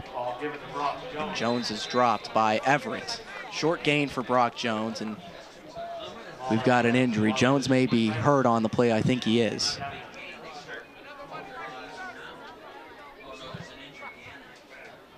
Nice job on that play by Steve Franco coming up from his safety position on the run blitz, helping out with Everett to bring down Jones.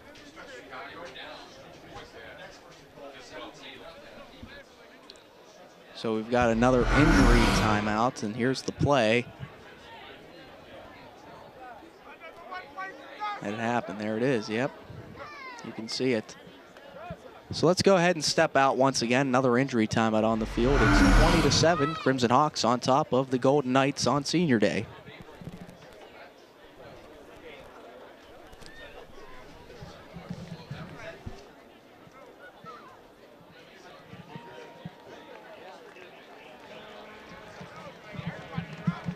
Jones looks to be okay, so that's good. He was able to get up and run off. You see him running to the sideline, so hopefully he's all right because he's a big piece of this Gannon offense.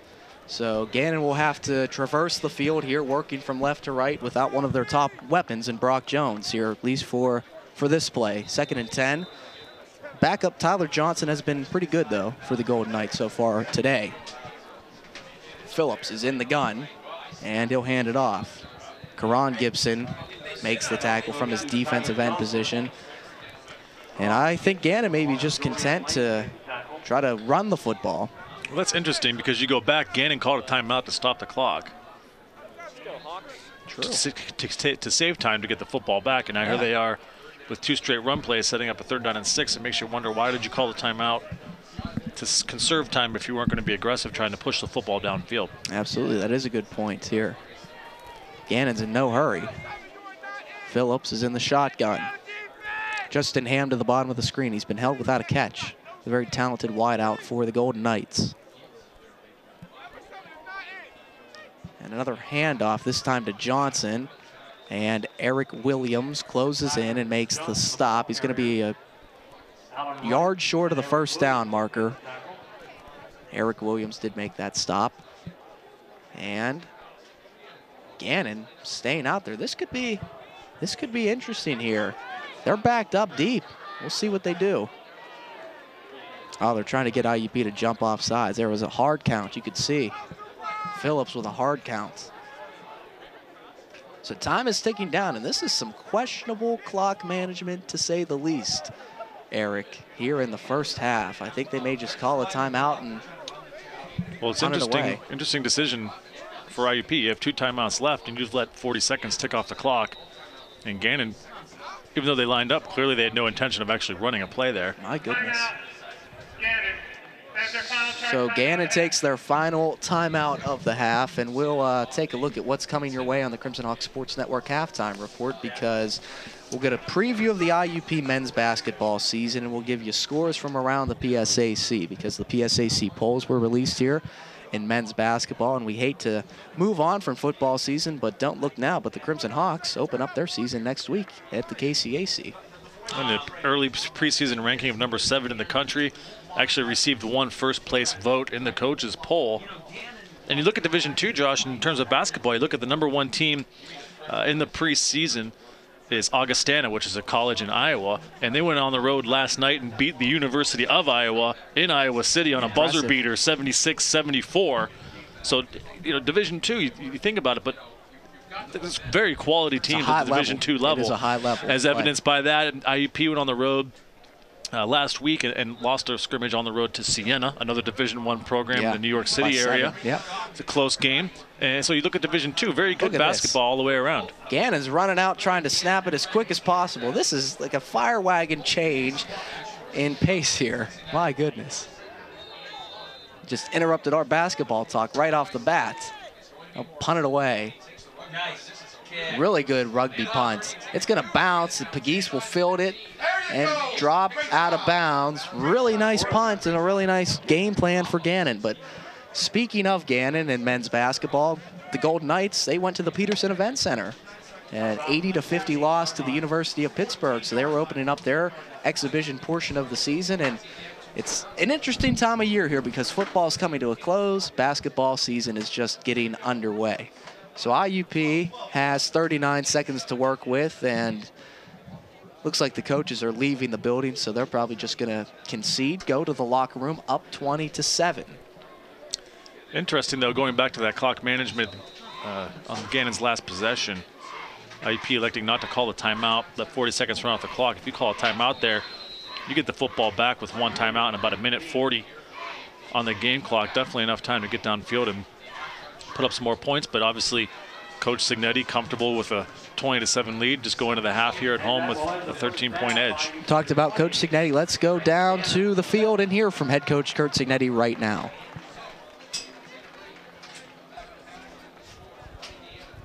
Well, there are too many scoring opportunities in the red area. I mean, we've been down there too many times and haven't gotten enough points.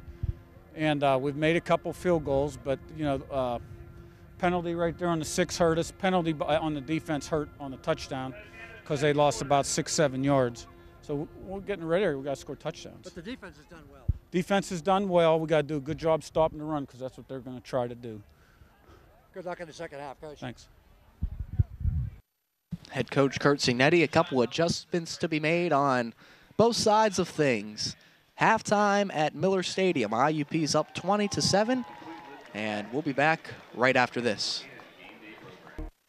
Little voice came on the phone and said, Daddy, when you come home. He said the first thing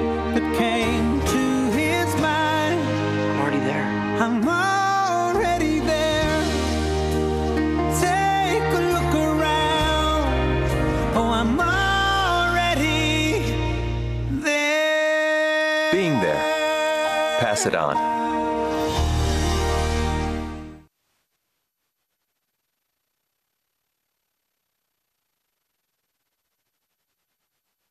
Did the Crimson Hawks come out on fire? Touchdown to Chris Temple, a long touchdown pass to Walt Pegues, and then Gannon. They had some struggles too to start, but they really found themselves an interception late. But here you go, Gannon. Going down there. Eric Williams had a nice half, but they were finally able to get on the scoreboard here. The lone touchdown of the first half for the Golden Knights there, but the way IUP started the game, you thought, boy, this could be like a blowout, but give credit to the Golden Knights. They have uh, responded nicely, I would say. And uh, before the teams get ready to kick the second half off, let's go over the halftime stats, and we'll start with uh, the team stats here in the first half.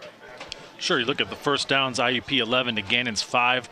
Rushing yards, IUP with 138 on 25 carries.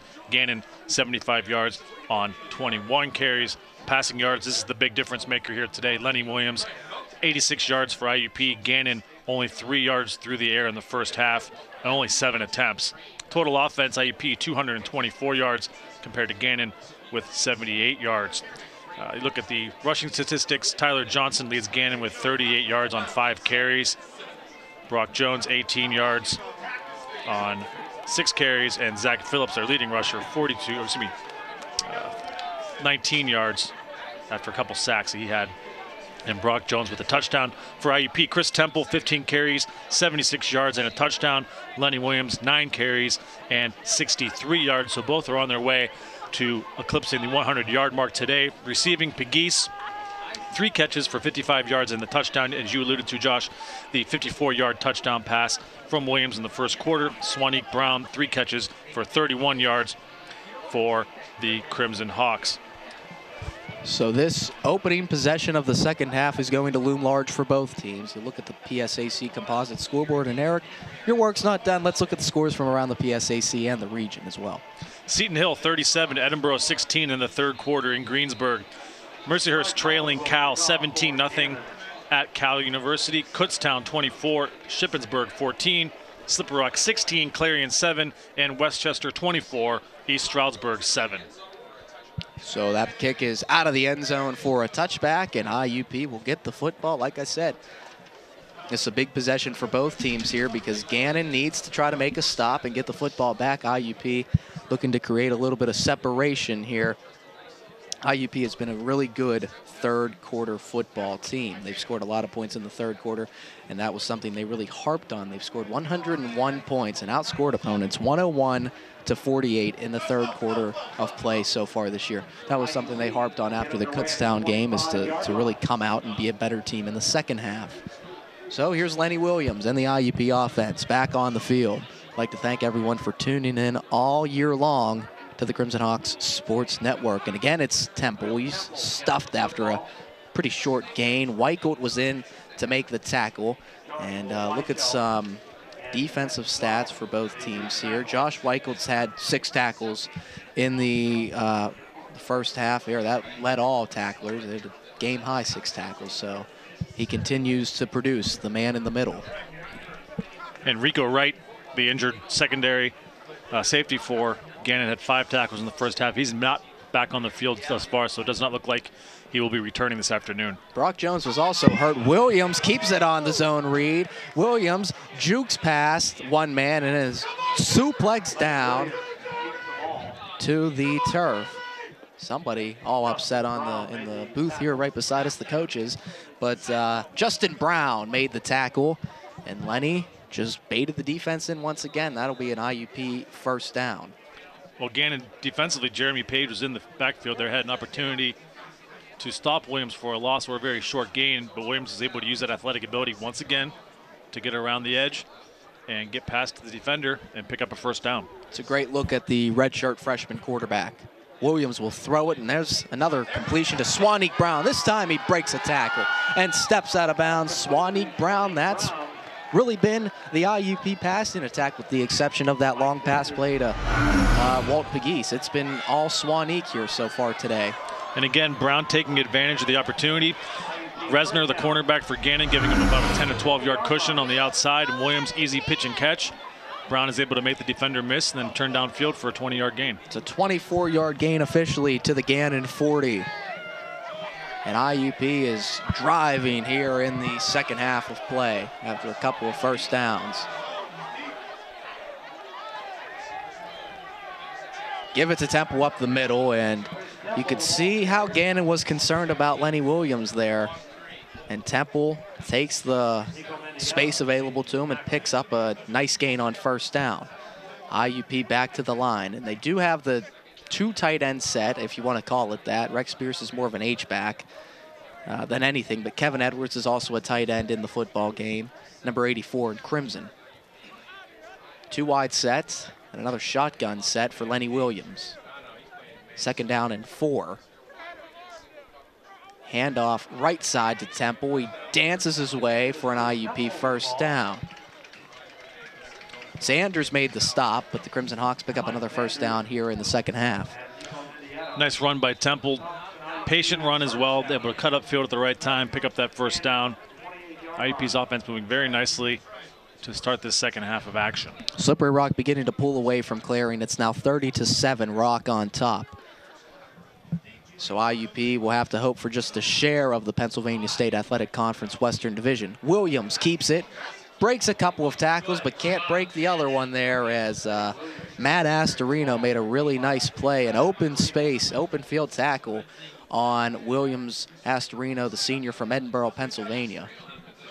Nice athleticism by Astorino in the open field.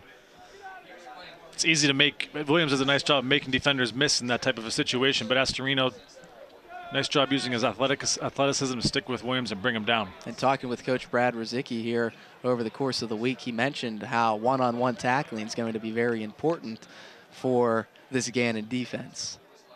Another handoff to Temple, and it looks like he slipped on the play there. The linebacker, Mendieta, was there to make the tackle, but IUP now dealing with a third down, and here comes Luigi Listabrinza into the football game. Remember last year, he was the guy, you know, over 800 yards rushing as a freshman. Temple was kind of emerged as the, the top rushing option for IUP, though.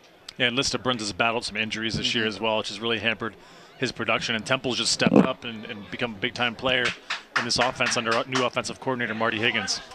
Gannon's looking for a stop here on third down.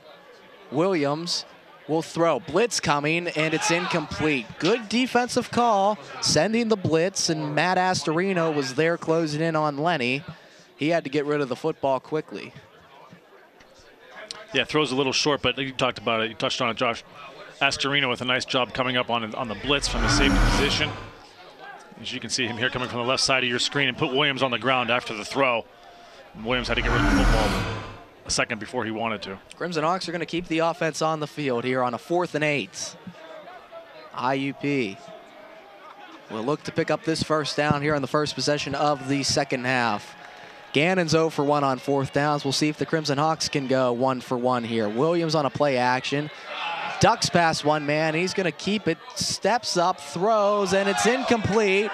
No penalty flag. The IUP coaches wanted it. Pretty good coverage by A.J. Satcher. They were looking for Mims and Brown, who were both down there, but a turnover on downs for the Crimson Hawks. Nice job defensively by Gannon.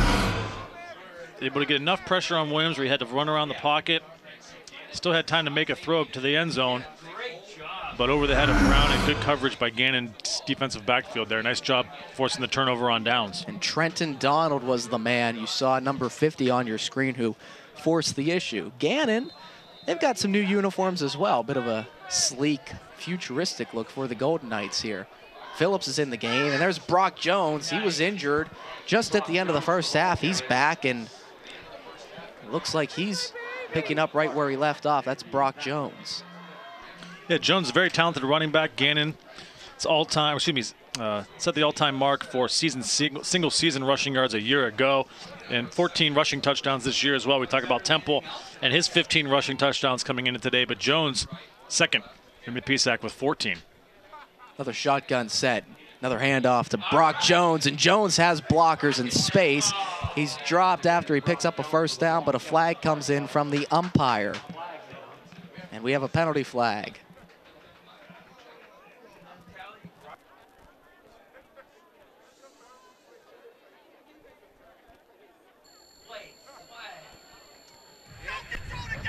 Holding, number 75 offense. 10-yard penalty, second down. And that will negate a first down run by Brock Jones, but Brock Jones is coming in the second half and has looked pretty nice on a couple of carries. See and the jersey pull there. Yeah, they get the hold on Brock as he was holding Darian, Dorian Lane, the linebacker coming across the middle. At the end of the play, too. You hate to see that if you're Gannon. Yeah. From the Gannon perspective, a play or a, a hold coming at the end of the play after the play has pretty much been decided at that point. Yeah, Jones had already picked up a first down, and the rise motion here, they'll hand it off to Jones again. Cuts in the hole. He's got his left ankle taped. You see the left ankle was heavily taped there for Brock Jones, and he made some pretty nice moves uh, laterally there on that ankle. Well, Jones is a senior, so his next to last game of his career. It's good to see he's able to come back from that injury and, and make a contribution here in the second half. And third down and about one, one and a half. This is an opportunity for Jones to keep it on the ground, but then do they let Phillips go ahead and put it in the air here? Gannon, one of seven on third down so far today. They need one here. And they'll hand it off to Jones again. And second effort probably gets Jones a first down. IUP had stuffed him initially, but the senior tailback would not be denied there, Eric. A nice second effort. And also a big push from the offensive line when Jones got stood up, able to push him forward about two yards, just enough to get that first down and keep his drive alive for Gannon. Gannon is driving. IUP was unable to convert on their first possession after turning the ball over on downs, and now Gannon is trying to work their way into the end zone here. Zach Phillips, Liam Nodler started the game, and I think it was just to get his start streak intact. Phillips keeps it on the left side. Phillips with running room. Bumped out of bounds late, and there's a flag. So they're going to tack 15 onto it. And Phillips looks a little worse for where there is Eric Williams bumped him out of bounds. Yeah, late hit by Williams. Phillips was already out of bounds by the time that he put him into the sideline. And it's on the Gannon sideline, so you know it's going to get a lot of emotion and tripping from that bench. And two officials threw the flag on that play. Looks like Phillips is okay, but he really took a shot. After the play, personal foul, late hit out of bounds, number seven defense. 15-yard penalty from the end of the run, automatic first down. That's going to take the football well into IUP Crimson Hawks territory. They're going to mark it off 15 yards from midfield, and there's the shot. The staff wanted it, they got it. So another 15-yard penalty for IUP. There was a couple. Remember, Crimson Hawks had some penalties in the first half as well.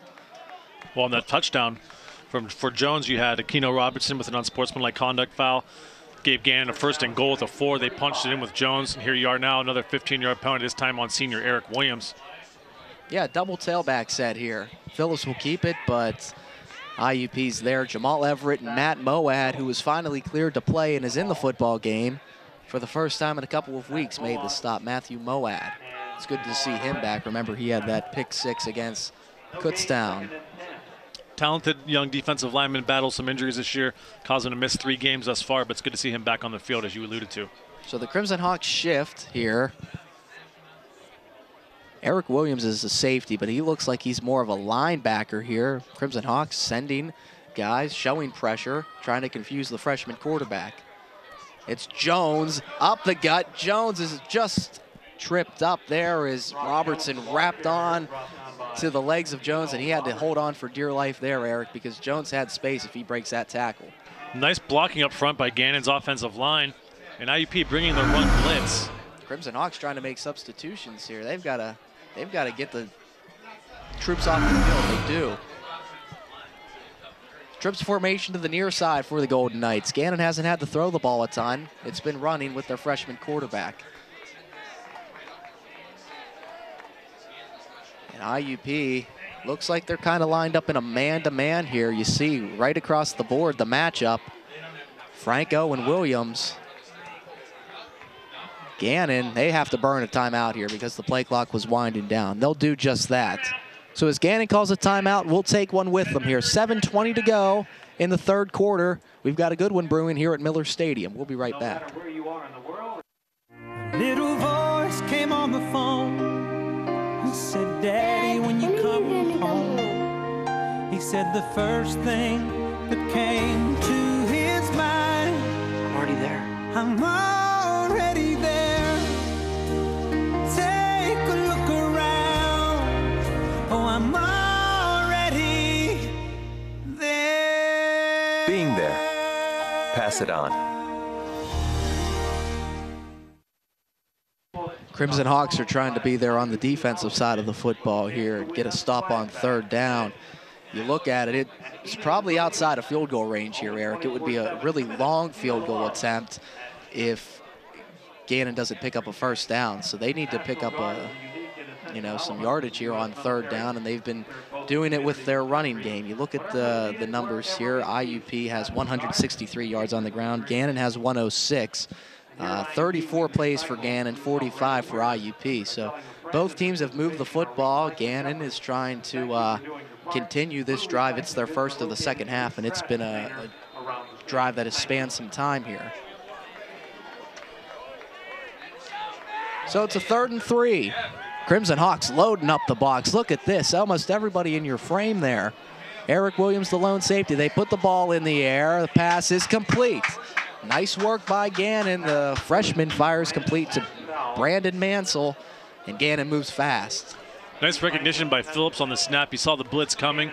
Mansell ran the hot route on the outside. He was able to put it right on the money, and Mansell falls down, but able to pick up the first down.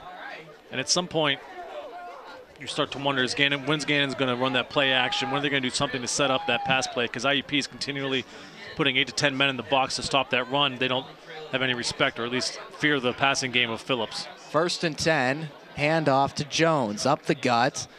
And he's swarmed in there, the IUP defensive line, up to the task. Dylan Scott is a defender who was activated last week at Clarion because IUP's depth was a little bit tested here.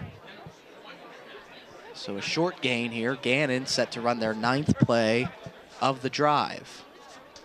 Gannon's taking their time. They're being very patient with the football.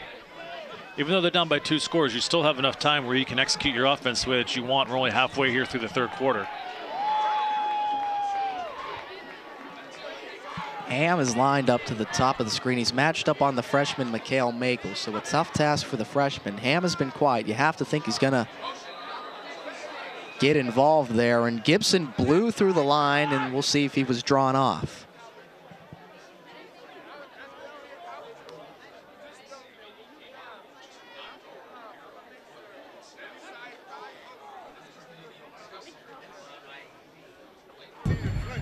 Offside, number 93 defense, five-yard penalty, second down.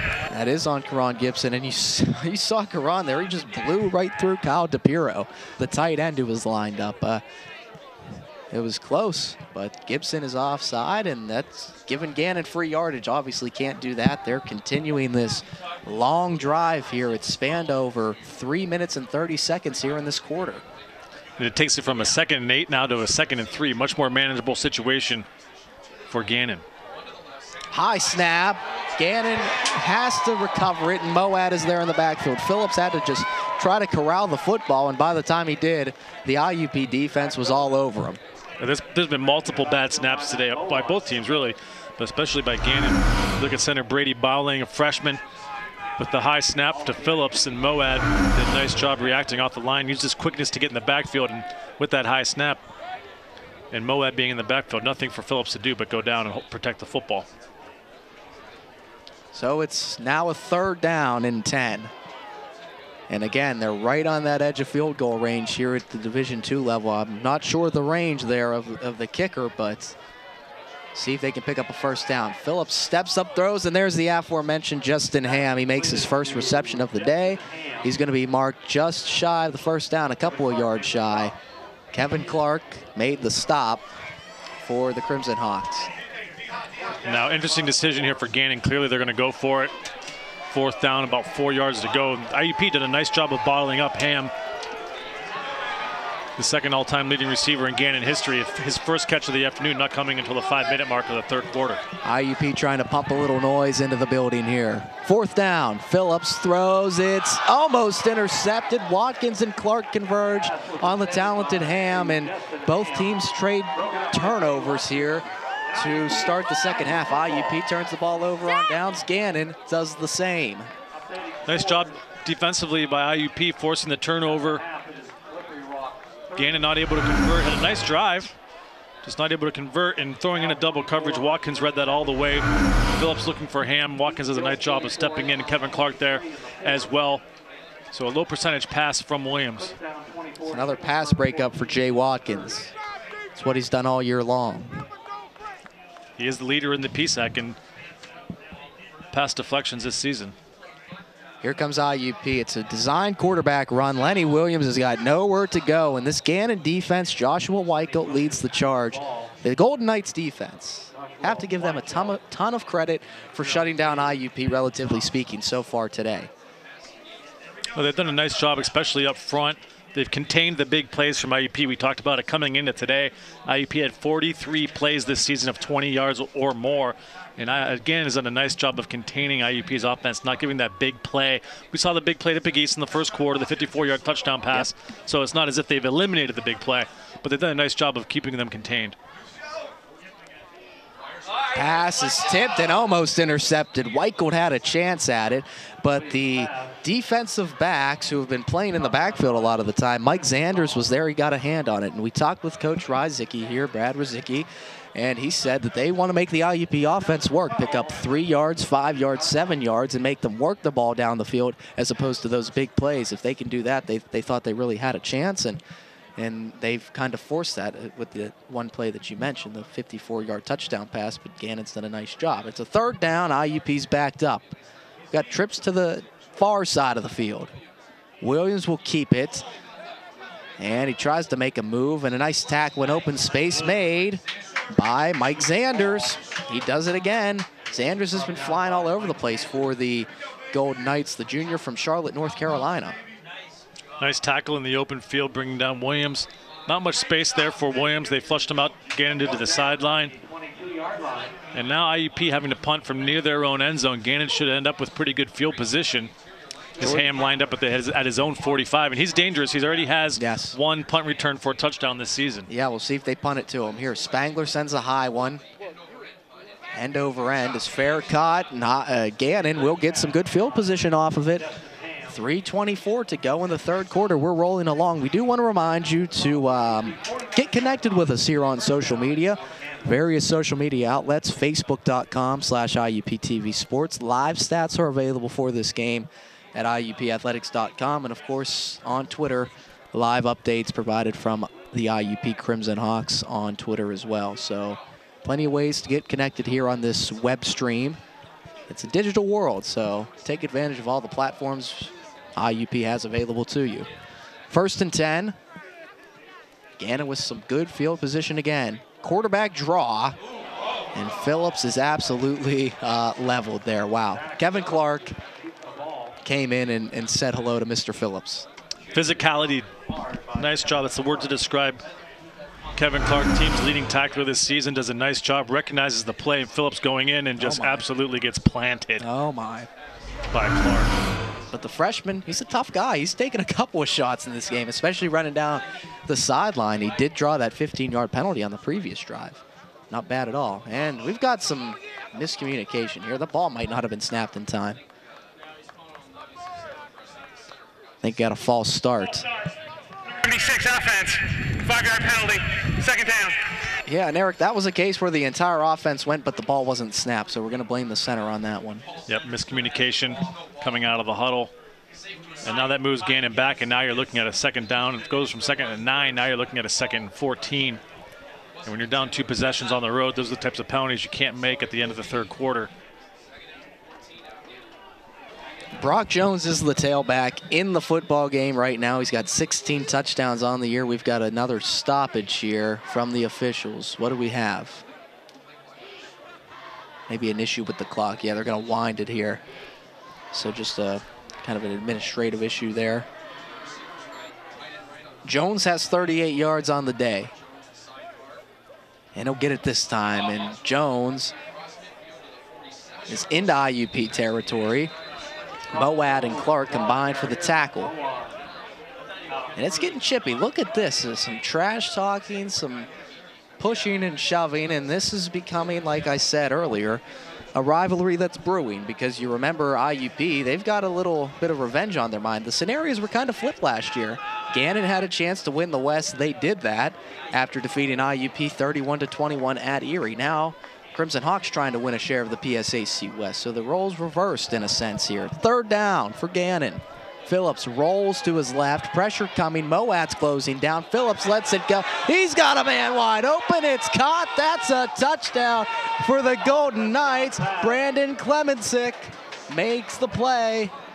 Klemensick, touchdown Golden Knights. The coaches are all fired up. Nice play. They roll the pocket out to the left. Phillips able to put the throw right on the money as he, as the wide receiver Klemensick got behind Mackley on the from the IUP.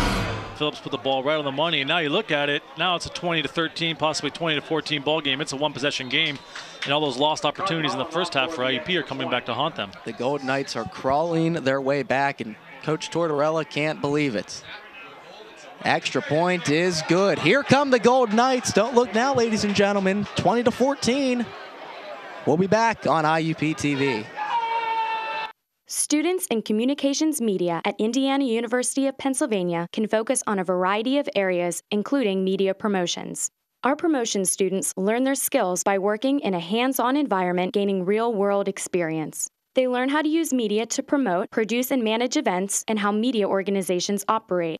They create promotional campaigns and help clients pitch their services, products, and events. With excellent classes led by experienced teachers, the Communications Media Department at IUP is perfect for students interested in media promotions.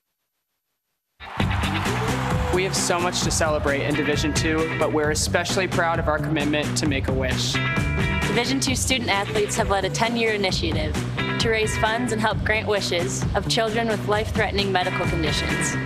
Nearly $3 million have been raised, and hundreds of children's wishes have been granted. We play hard, we work hard, and we support others in need. Why? It's simple. Because we care. We're back on the Crimson Hawk Sports Network. Gannon strikes with a three-play 49-yard drive, making it 20 to 13.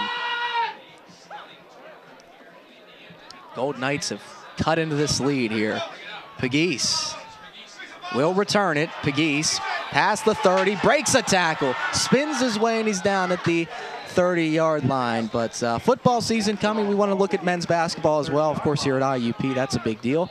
Look at the men's basketball upcoming schedule. And Eric, a chance for fans to go out and see the reigning NCAA Division II national finalist.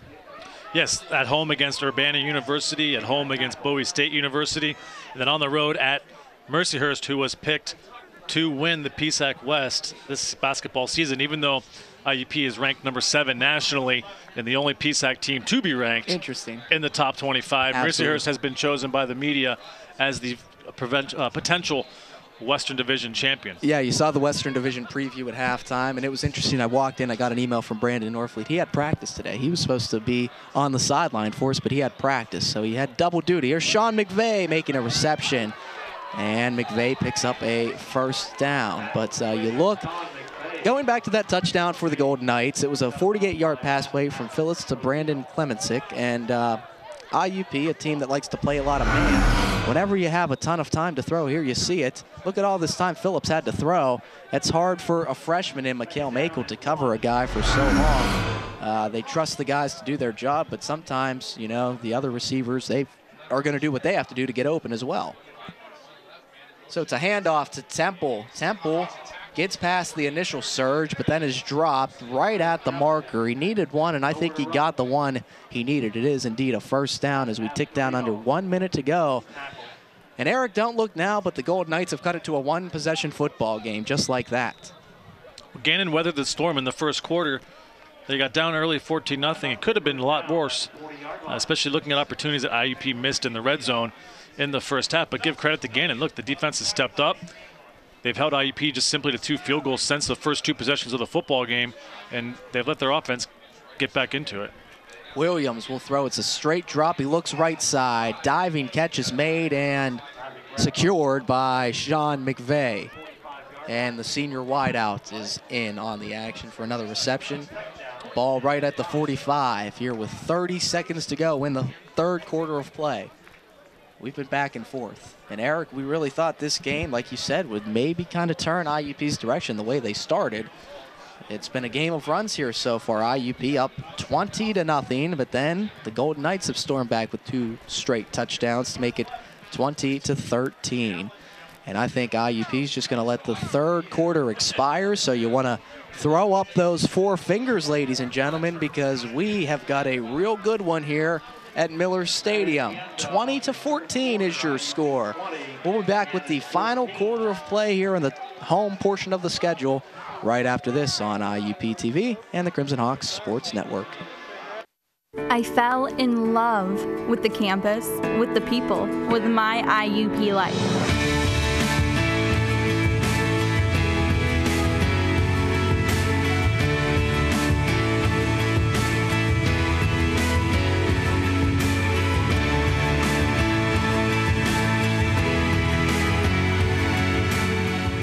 Yourself.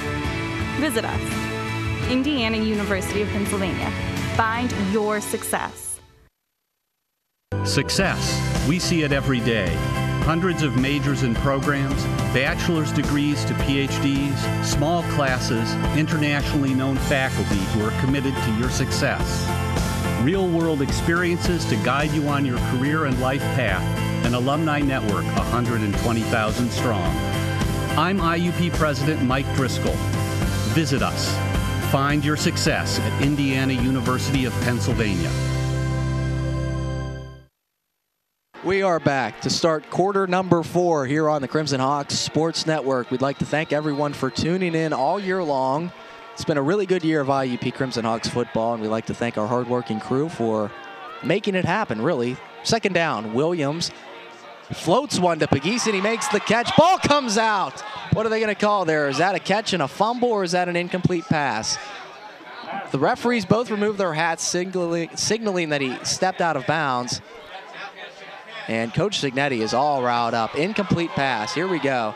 Coach Cignetti needs to be careful here. The referees had thrown their hat offs, right? That Eric, that's signaling that the guy steps out of Stepped out bounds, of right? bounds. Okay. Wow. Really good touch by Lenny there, but pretty good timed hit for sure. It did look like Pegues had the football and made a couple steps, and Cignetti's pleading his case, and the officials are going to get back together a second time to discuss what happened. Here we go. Did Walt catch this football? One, One, two. two. It's it's close. It's very close. It's a bang bang, and they don't get a chance to slow it down like we're doing right now. But they're not going to give it to. Nope. So it's a third down, and IUP will need to pick it up again. But uh, even though if he had caught that football, he stepped out of bounds. He stepped so out of bounds should've been a catch, beforehand, yeah. so he's, he was not an eligible receiver at that point anyway. I agree. Ooh, We've got a timeout. So IUP will call a timeout. Let's take one with them, get things sorted out, come back with this third and five. It's a big one for IUP. We'll be back on the Crimson Hawks Sports Network. Can I go to the sleepover?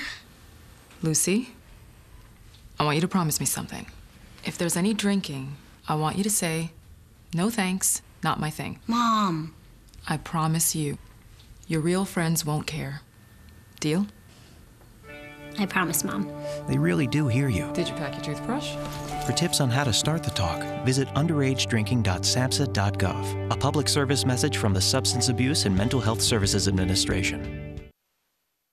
Welcome back into the Crimson Hawks Sports Network here. Final quarter of play. IUP has really made sure that they were a good second half team, but right now they're being outscored 14 to nothing. Eric, here's the by quarter scoring for the Crimson Hawks. You look at what they did in that third quarter. They outscored opponents 101 to 48, but it's been pretty close in the fourth quarter here.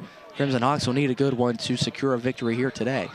Well, you look at that 101 to 48 difference in the third quarter. That speaks to coaching and halftime adjustments coming out fixing mistakes from the first half and adjusting to the scheme defensively that's being thrown at you. So nice job with the recognition. But thus far today, it's 7 0 Gannon in the, in the second half. So Williams will hand it off to Temple on a third down, and he's not going to get it. Who else would it be? It's Josh Weichelt. And Gannon has a coach over on the left side that is really into it, and we've been having a, a little bit of fun with him here. He's uh, showing some passion here, and IUP has to make a decision. Fourth down, clock's winding. What are they going to do? And I think they're going to punt it away. Yeah, you have to punt it away here. You can't give Gannon the football on your side of the field. If you still have a possession lead or six-point lead, if Gannon, you give the Gannon in the short field, they go down, score that touchdown, kick the extra point, and all of a sudden they're ahead by a point. Ham is back to return. He's dangerous. It's a high punt. Forces a fair catch. Really nice punt. Fumble! It's fumbled! IUP picks it up. They're going to get the football. Shades of what happened at Slippery Rock, Eric. Walt Pegues fumbled the football, gave Slippery Rock the ball, and now IUP will get it in the red zone in special teams. This time works to the Crimson Hawks' favor. Who would have thought? Nice punt, good hang time, and plenty of time for him to adjust. He called for the fair catch, just simply muffed the punt, went right through his hands, and Aquino Robertson right there to pick up the fumble. And now IUP's in business inside the 10. right through his hands. Heard footsteps maybe. And that that's a that's a big blow. Wow, that really is. You're going to look back on that, regardless of what happens. because that's a possession taken away for the Golden Knights. Temple has the football. He's down near the five-yard line. Chris Temple running with the ball. Jeremy Page closed in and made the stop. It's also a situation where momentum had swung over to the Gannon side. And now with that fumble, it swings right back over to IUP. Right up the gut. Temple stopped once again. Gannon defense bending but not breaking so far here in the red zone. Talked about how important the red zone is. Chris Temple got the ball the first two times. It's third and goal. We'll see if he gets it again. The sophomore tailback already has 16 touchdowns on the season.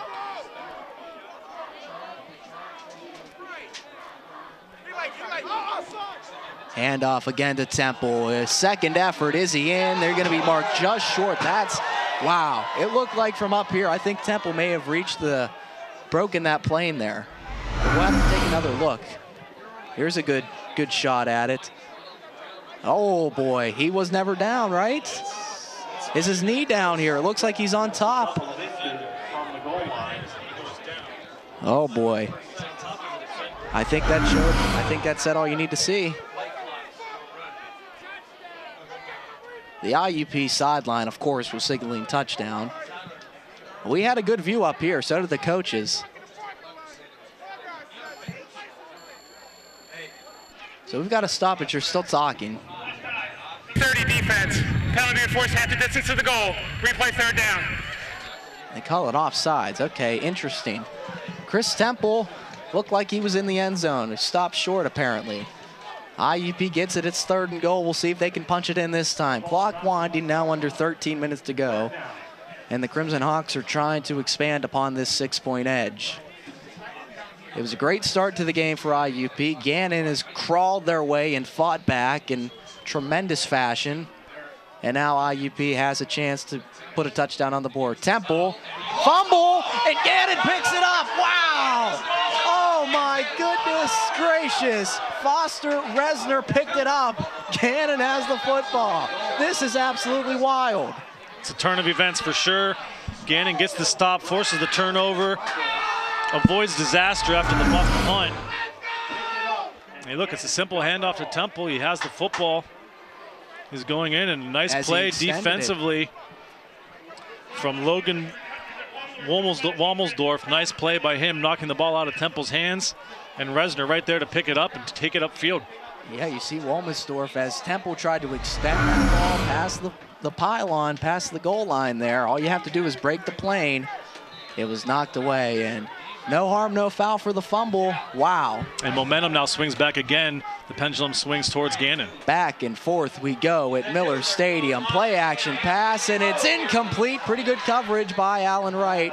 Matched up against Ham, and they're jarring a little bit. Wright needs to be careful. Don't want to talk too much and grab yourself a personal foul. He's already got an unsportsmanlike conduct today. My goodness, we are, we are seeing a good one, no doubt about it. Well, Phillips had a good recognition. He had his man. He had Ham up Much the sideline, but the throw was just underthrown enough where Wright was able to come back and make a play on the football. Ham 6'3", Wright 5'11", and they hand it off. A little bit of slippage there. Johnson, Tyler Johnson running with the football. Another third down, right, Eric? Yep, Yeah. this sets up a big third down.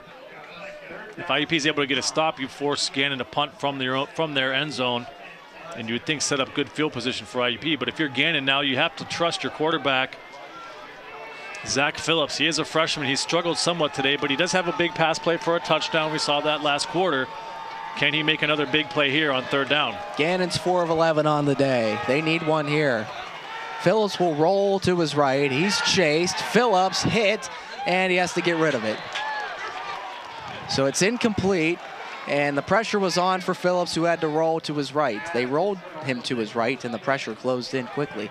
So here's a situation where Gannon needs to get off a good punt because, well, they're backed up. So in a game like this, every play begins to become magnified a little bit. You can see what Gannon's game plan is. Phillips is much more comfortable as he's rolling out of the pocket. So they did a nice job trying to roll him out to the right, but just The problem with that is then you're cutting off about half of the field for the players or for your receivers, so it makes it a little bit easier for IUP's defense. They only have to cover a half of the field. Jared Morrison, Karch Holland, the dual punt unit. This is just an interesting look for Gannon. They have a couple of punters there. See if IUP sends some pressure. It's partially blocked. It's partially blocked there. And IUP is going to get phenomenal field position. So that rugby style punt comes back to bite the Golden Knights. IUP will get it back. And wow, so many different momentum swings in this game. There's Paul Tortorella. He is not happy. So the IUP offense will again have an opportunity to put points on the board and again expand on this six-point lead. If you're IUP, you want to keep the football on the ground here, probably with Chris Temple. Look for Williams running that option read. If you have to get some points on the board here, if you're IUP, you want to try to extend this out to a two possession football game as we approach the 11 and a half minute mark. Temple is over 100 yards on the day. His average isn't great for what he's used to, but he has it right now. And Temple cuts back up the middle, and it's dropped inside the 10-yard line. Some nice running by Chris Temple, and he's got over 100 yards, like I said, and he's got another IUP first down on that run. And once he cleared that line, there was nobody around him. You can see Gannon brings the blitz, not able to get there. As you see, Astorino missed on the tackle. Temple was able to take advantage and get upfield.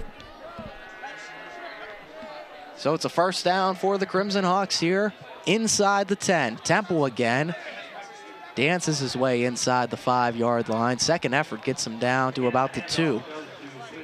So again, IUP is knocking at the door. Diamond Jones blocked that punt on the special teams play. I had to make sure that the number was correct, but it was Diamond Jones, and he's been really a special team standout for IUP. We want to certainly give him credit where credit's due there. Second and goal for IUP. Shotgun. Temple is stopped short. He was stood up. Coach Cignetti wants a touchdown, and it looked like, yes, his progress was stopped. So Temple short once again, and Gannon, time after time, they're stuffing IUP's offense. They've done a nice job keeping although he does have over 100 yards. But nice push up front defensively. Astorino in there making a play. Again, from his safety spot. He's done a nice job stuffing the run. High snap. Gannon can't pick it up. Temple recovers, and IUP may be able to get a field goal out of this. Oh, my goodness. If Gannon was able to pick that up, I think they score a touchdown on Easily, it. easily. Oh, my. Very fortunate that they weren't able to pick that up as Justin Brown unable to pick it up and go. New center. Well, Kiddes Waldice is typically the center, but, you know, it was it was Ed Byer in at center. So Waldice and Byer switch at center every once in a while, and that was a bad snap. So Stu will come on here to attempt this field goal, and you knew it would come down to a special teams play. It's a big one here.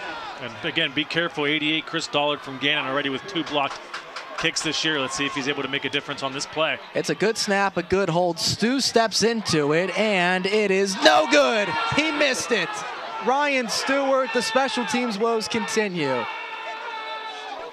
Let's step out for 30 and come back with the Gannon Drive. We'll be back on IUP TV. It's hard to explain. It just became home. There are hundreds of majors and programs, bachelor's degrees to PhDs, small classes, and faculty that really get to know you. Amazing internships and everywhere, programs that help to find a job that is right for you. It's what IUP is about a commitment to your success. See it for yourself. Visit us, Indiana University of Pennsylvania. Find your success.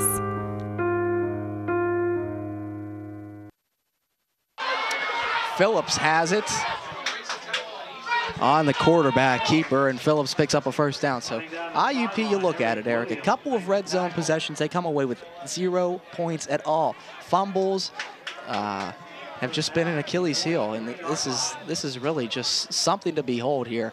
So many momentum shifts, back and forth they go. It's just phenomenal.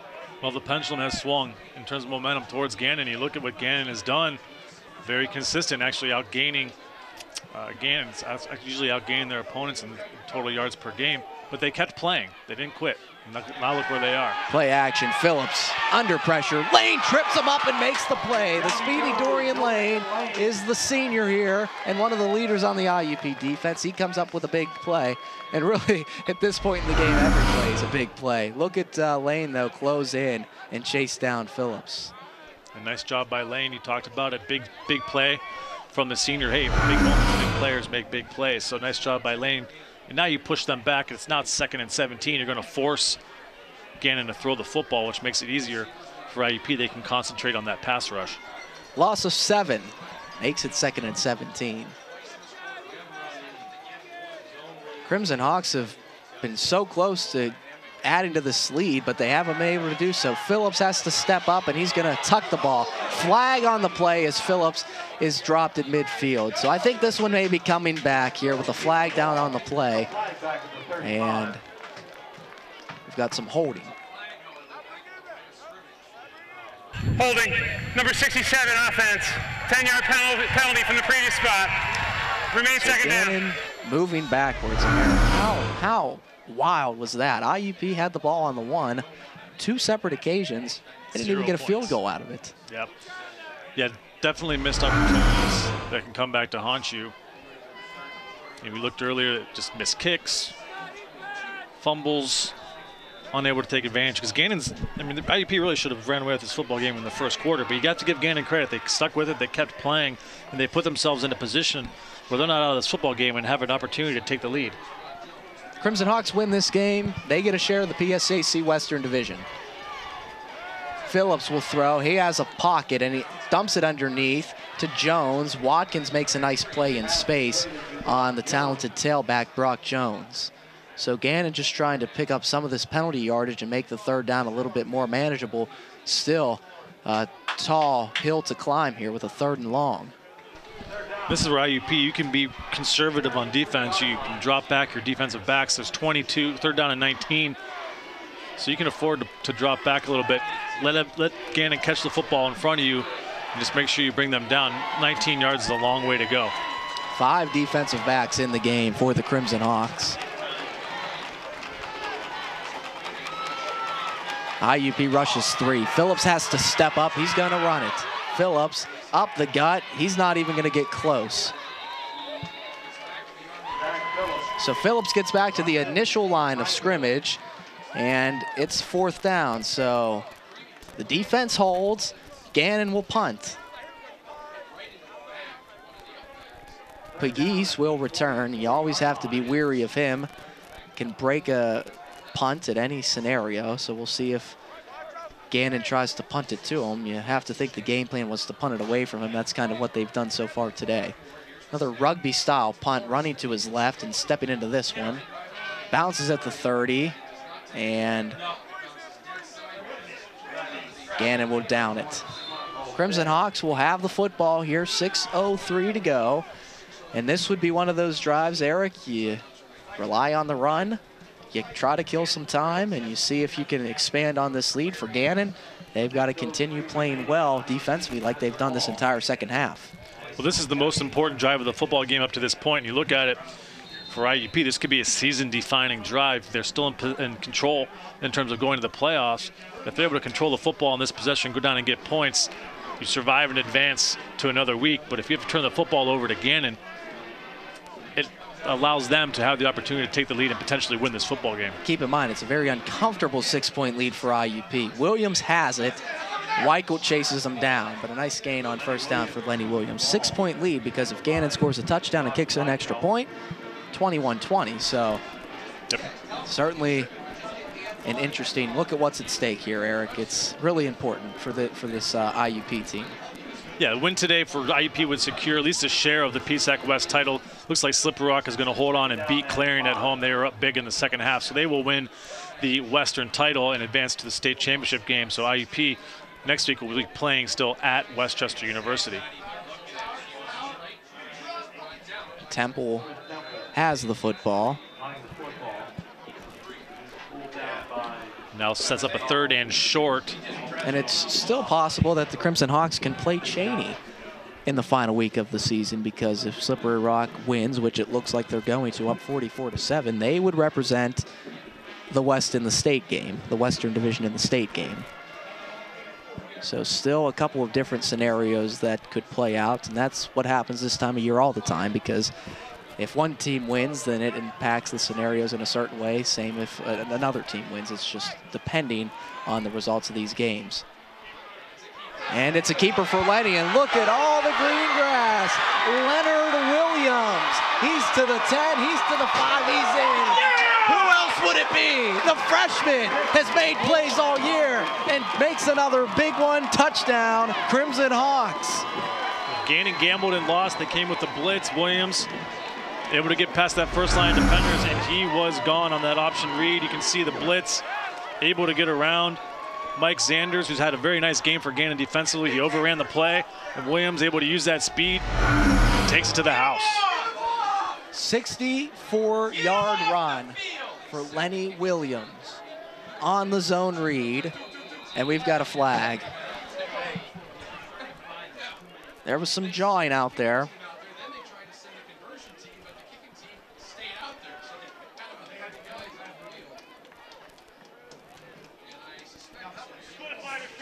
Timeout, Indiana. That's their second charge And timeout of the IUP takes a timeout with some confusion. So let's take one with them. My, oh my. Lenny Williams, 64-yard run. We'll be back on IUP TV. Think of the NCAA as a marching band. We wouldn't stop with halftime. We'd be full-time. Celebrating student athletes in everything they do. Okay, so don't think of us as a marching band. Think of us as a spirit squad. Well, just know we're always there for student athletes. Welcome back to the Crimson Hawk Sports Network, and there's Chris Temple. It's been a big key to this game, as has the freshman quarterback Lenny Williams. Really a game-changing 64-yard touchdown run. He's got 140 rushing yards on the day. Temple's got 128. Crimson Hawks just continue to rack up the yardage on the ground, and going back to it, big plays is what has really kept IUP uh, able to stay in front here. The long touchdown pass to Pegues, the long touchdown run. And uh, Gannon's played well, but just some key plays for IUP at, at good times. And they'll send out the two-point conversion team here. This is a, kind of a smart idea here because it would put IUP up by two touchdowns. So we'll see uh, what offensive coordinator Marty Higgins draws up. Williams looking to throw to Swaneek, knocked away, so it's incomplete. Let's step out once again here. 4.35 to go. It's 26-14 IUP over Gannon. We'll be back right after this. The brain is a remarkable organ. It's almost infinite in its capacity. Its ability to reach its full potential is limited by only one thing the heart. For if the heart isn't fully engaged in what you're doing, if you have no drive, no passion, the brain will simply go through the motions. Find your success at Indiana University of Pennsylvania.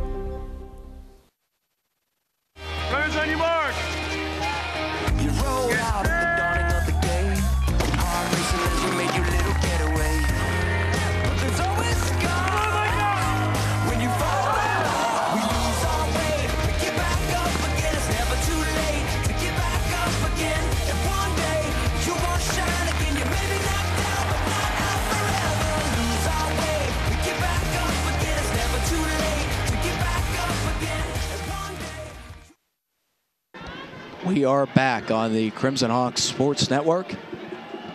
Three plays, 72-yard drive for the Crimson Hawks. Sean Bowling will kick it away 26-14. And as I say all the time, thanks to our crew, because a lot of people out here, it was a cold day, a windy day. Everyone in the control room and our faculty advisors, it's probably it takes about 20 people to make this operation go, Eric. So uh, I know we're very thankful for everybody. Short kick is received. And IUP makes a play. It's Diamond Jones. He's been the special teams player of the game by far so far today. And he makes another one. Gannon has it, and uh, with a freshman quarterback in, throwing the ball will be coming at a premium here, and it's going to make it difficult for the Golden Knights. This is a situation Gannon wanted to avoid freshman quarterback on the road. Now all of a sudden you find yourself down two scores with just under four and a half minutes left to play. Phillips is going to have to put the football in the air, so look for him to roll out and try to execute a long pass play because Gannon needs to score the football quickly, and they also need to get it back. Brock Jones is the tailback to the side of Zach Phillips. He's going to throw here. He has to step up because of the pressure, so he'll tuck the ball and run, and Kevin Clark knocks him out of bounds. Zach Phillips keeps the ball. Bumped out of bounds by Kevin Clark.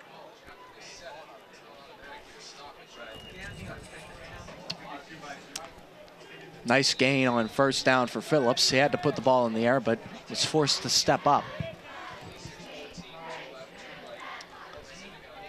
Phillips will throw, and it looked like his arm may have got hit as he threw it there. It came out a little wobbly and falls incomplete. So another third down for Gannon here. It's third and four. And the Golden Knights are just running out of opportunities to, to get on the board. Yeah, third and four now. You talked about Josh running out of opportunities. Phillips just really had nowhere to go with the football. He was under pressure almost immediately, stepped up and got his arm hit as he went to throw it.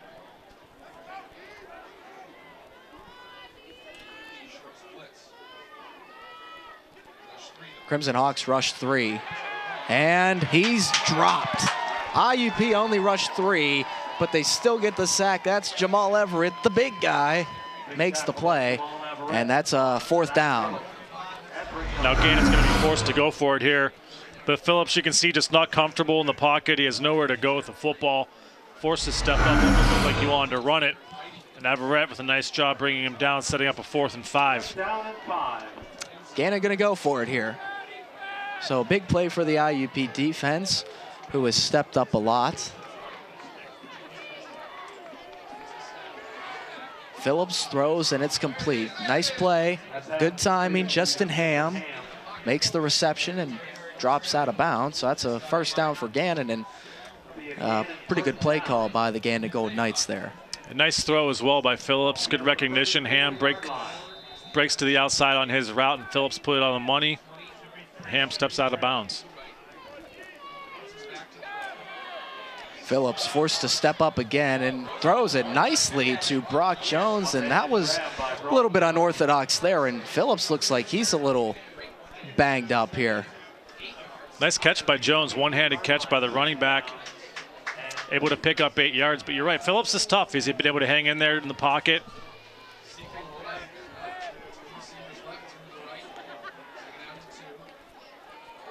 Phillips throwing once again, flushed to the right, takes another shot and it's incomplete. Phillips is getting absolutely beat up here today. He's been hit and battered and bruised all day long, and uh, it's Liam Nodler. He was he was hurt, so he started the game for the first play, but then he hasn't played the rest of the game here today. A nice pursuit by Moad from his defensive end position, followed Phillips all the way to the sideline, then made the hit as he released the football. But nice job again by the IUP defensive secondary, not giving Phillips an opportunity to throw the football to any of his receivers. We'll hear from head coach Curt Cignetti after this one in a 26-14 game.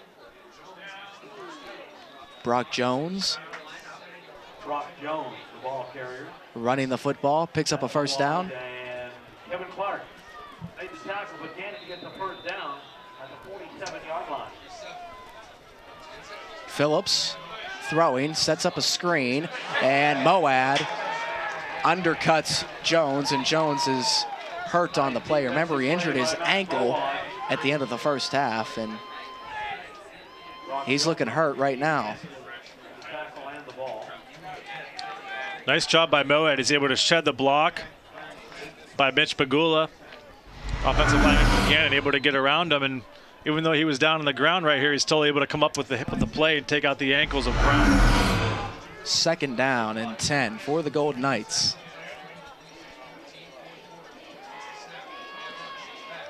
throwing, and it's intercepted. Jay Watkins seals the ball game for the Crimson Hawks, perhaps. Jay Watkins, he's been good. Really one defender that's been developing for IUP. Crimson Hawks have the football in territory. Here's the replay. Nice job by Watkins. He recognized the route, jumped the route, stepped in front of Mansell, and makes the pick. A nice play by Watkins, and that should basically seal the deal here. It's just over two minutes left to play. But a pretty disheartening loss for Gannon. He had so many opportunities to get back into this football game, and he just didn't take advantage of any of them really in the second half. Got back within six points. And he looked back to that fumble by Temple that was almost returned back for a touchdown by Gannon. Brought down That's the difference. on the tackle, and that's absolutely been the difference in this football game. That play is almost like a microcosm of this game. So close. Temple has it and churns forward for a couple of yards there on first down. Crimson Hawks are able to get out of here with a victory, which it looks like they will. They'll move to 7 and 2 on the year, 6 and 1 in the PSAC Western Division. And this win, if they're able to get it, we'll give them a share of the Pennsylvania State Athletic Conference Western Division. Gannon will drop to 6 and 4, 3 and 4 in conference. So a disappointing year for the potential PSAC West favorites, at least preseason wise they were. IUP in no hurry. And our crew is set to get that interview from head coach Curt Cignetti. I appreciate everybody scrambling to do that. Temple running with the football. He's going to be just short of the first down. And it's a timeout by Gannon. So let's take one with them. 114 to go in the Crimson Hawks home portion of the regular season. We'll be back right after this. We know you want family-friendly sporting events. Sporting events where you can be comfortable. And entertained in a positive environment.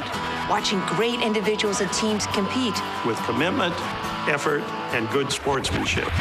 That's what the Division II Game Environment Initiative is about. Be a part of the excitement and find out why. These student athletes say with pride, I chose. I chose. I chose Division Two. Crimson Hawks Sports Network. So happy you've joined us all season long. And once again, would like to thank our crew, the entire senior class. There's a lot of seniors on this crew here that have uh, really dedicated their time and effort to providing you with this live video feed. And it's been a really good year of IUP Crimson Hawks football here at home.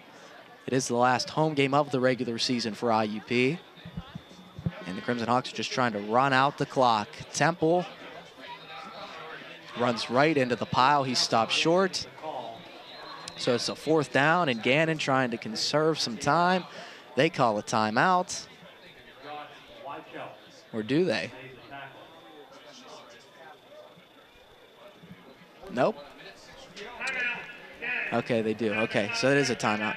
So it's the final timeout. Let's let's keep it here because the IUP Crimson Hawks really started this game off in a flurry, like a house on fire, the IUP Crimson Hawks were. They jumped out to an early lead in this game. If you just joined us, well, the game's almost over, so welcome to the broadcast. But IUP up 20 to nothing. They started out with a touchdown by Chris Temple. Lenny Williams threw to Walt Pegues for 54 yards, making it 14 to nothing. A couple of field goals by Stu, Ryan Stewart, from 30 and 35, made it 20 to nothing. But then the Golden Knights countered back with a couple of scores on their own. A three-yard touchdown run for Brock Jones, a 48-yard pass for Zach Phillips, made it 20 to 14. And there were a couple of instances where you really thought Gannon may even get out of here with a victory the way things were trending. But then the 64-yard touchdown run for Lenny Williams certainly On third sealed down. the deal. It was on third down as well, yes.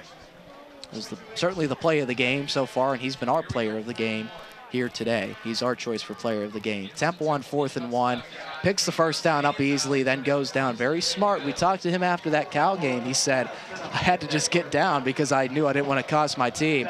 And look at the Crimson Hawks again, always amped up after a victory, like I said at Cal. A lot of the same. Whole squad's in the building today.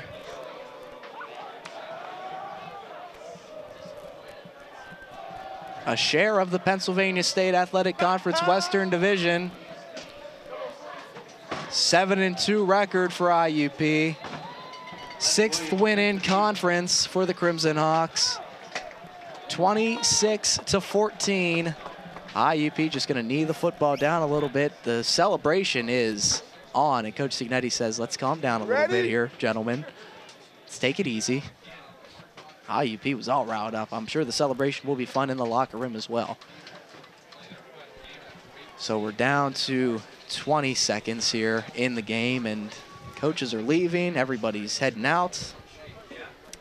Gannon will close the year out at East Stroudsburg, November the 14th. IUP right now has West Chester. That's scheduled to change. They may get Cheyney, but that's the final score. IUP 26, Gannon 14. And uh, let's see if we can get Coach Cignetti. He's probably going to shake hands and stuff, so we'll keep it here for just a little while as we close out our coverage of IUP Crimson Hawks football for the 2015 season. Again, thanks to the crew, everybody who's been here all year long. They were here at 8 in the morning, Eric, to set up. Could you believe that? That's early. You're sitting in your bed all cozy, okay? And they're here setting up at 8 in the morning. So they're the real MVPs, no doubt about it. Our MVP of the game is quarterback Lenny Williams. Here's Coach Cignetti. Back and ask you what your thoughts are about the defense.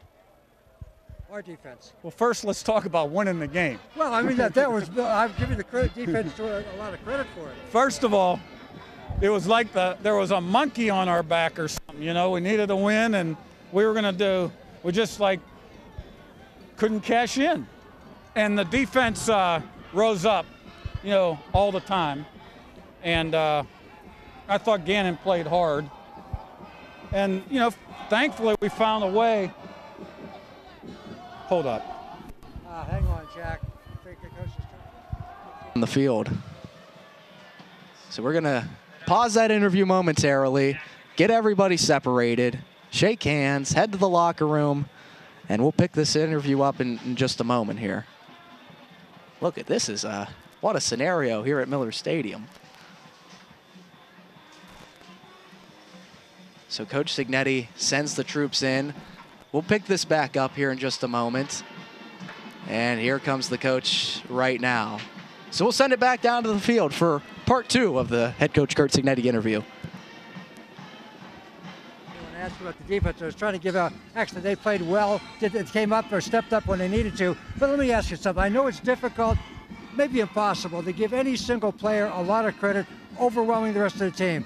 But Lenny Williams has absolutely done marvelous things this year, including today. Well, yeah, he's a major difference maker, and finally we found a way to get him loose at the end of the game when it counted. The offense obviously, obviously started strong. There seemed to be a switch in momentum. We kind of went flat. What was the, what happened? Got the ball in the red area, had a number of opportunities, couldn't cash in. Some you know missed passes to receivers that were open, holding stuff like that. And then it was like we'd get down there on the one, and you know I thought we were in a couple times, but it wasn't called. And then we're running in for a touchdown. We got a fumble, and then next time we snapped the ball over the guy's head. So it was just consecutive errors. We missed a couple field goals again, and uh, but you know our defense wouldn't defense wouldn't budge. Good luck next week. There he is, head coach Curt Cignetti. Thanks to Stephanie Kepich for filling in for Brandon Norfleet. And uh, let's see if we have anything for Lenny Williams here. He was our player of the game. And here you go. Let's take a look at what Lenny was able to do today, Eric. 9 of 18 passing, 124 yards, but where he really did uh, his damage was with his legs. Take a look at his uh, rushing performance, Eric. Well, you mentioned it, and Coach Cignetti mentioned it as well. He is a difference maker today. 15 carries, 140 yards on the ground, over nine yards per carry. His fifth consecutive games, or fifth consecutive game, eclipsing the century mark in terms of rushing yards. You put that together with Chris, Temple, 142 yards on the ground. You're looking at 282 yards on the ground between the two of them. But Williams, big plays at the end on that fourth, excuse me, that third down late in the fourth quarter, able to spring loose and run for the long touchdown to seal this football game. But he did it both ways. He did it on the ground. He also did it through the air. The 54-yard touchdown pass to Big in the first quarter. So definitely a difference maker for the IUP Crimson Hawks. Here's the big play there, the 60-yard touchdown run, and his performance puts Lenny right around the 1,000-yard mark rushing for the year. Uh, so very good, and we'd like to thank everyone for sticking it out with us. Thank our crew. that's going to wrap it up for this season of IUP Crimson Hawks football. 26-14 victory. We'll be back in the spring for Crimson Hawks basketball, and we thank you for tuning in all year long. And we say goodnight until next time here on the Crimson Hawks Sports Network.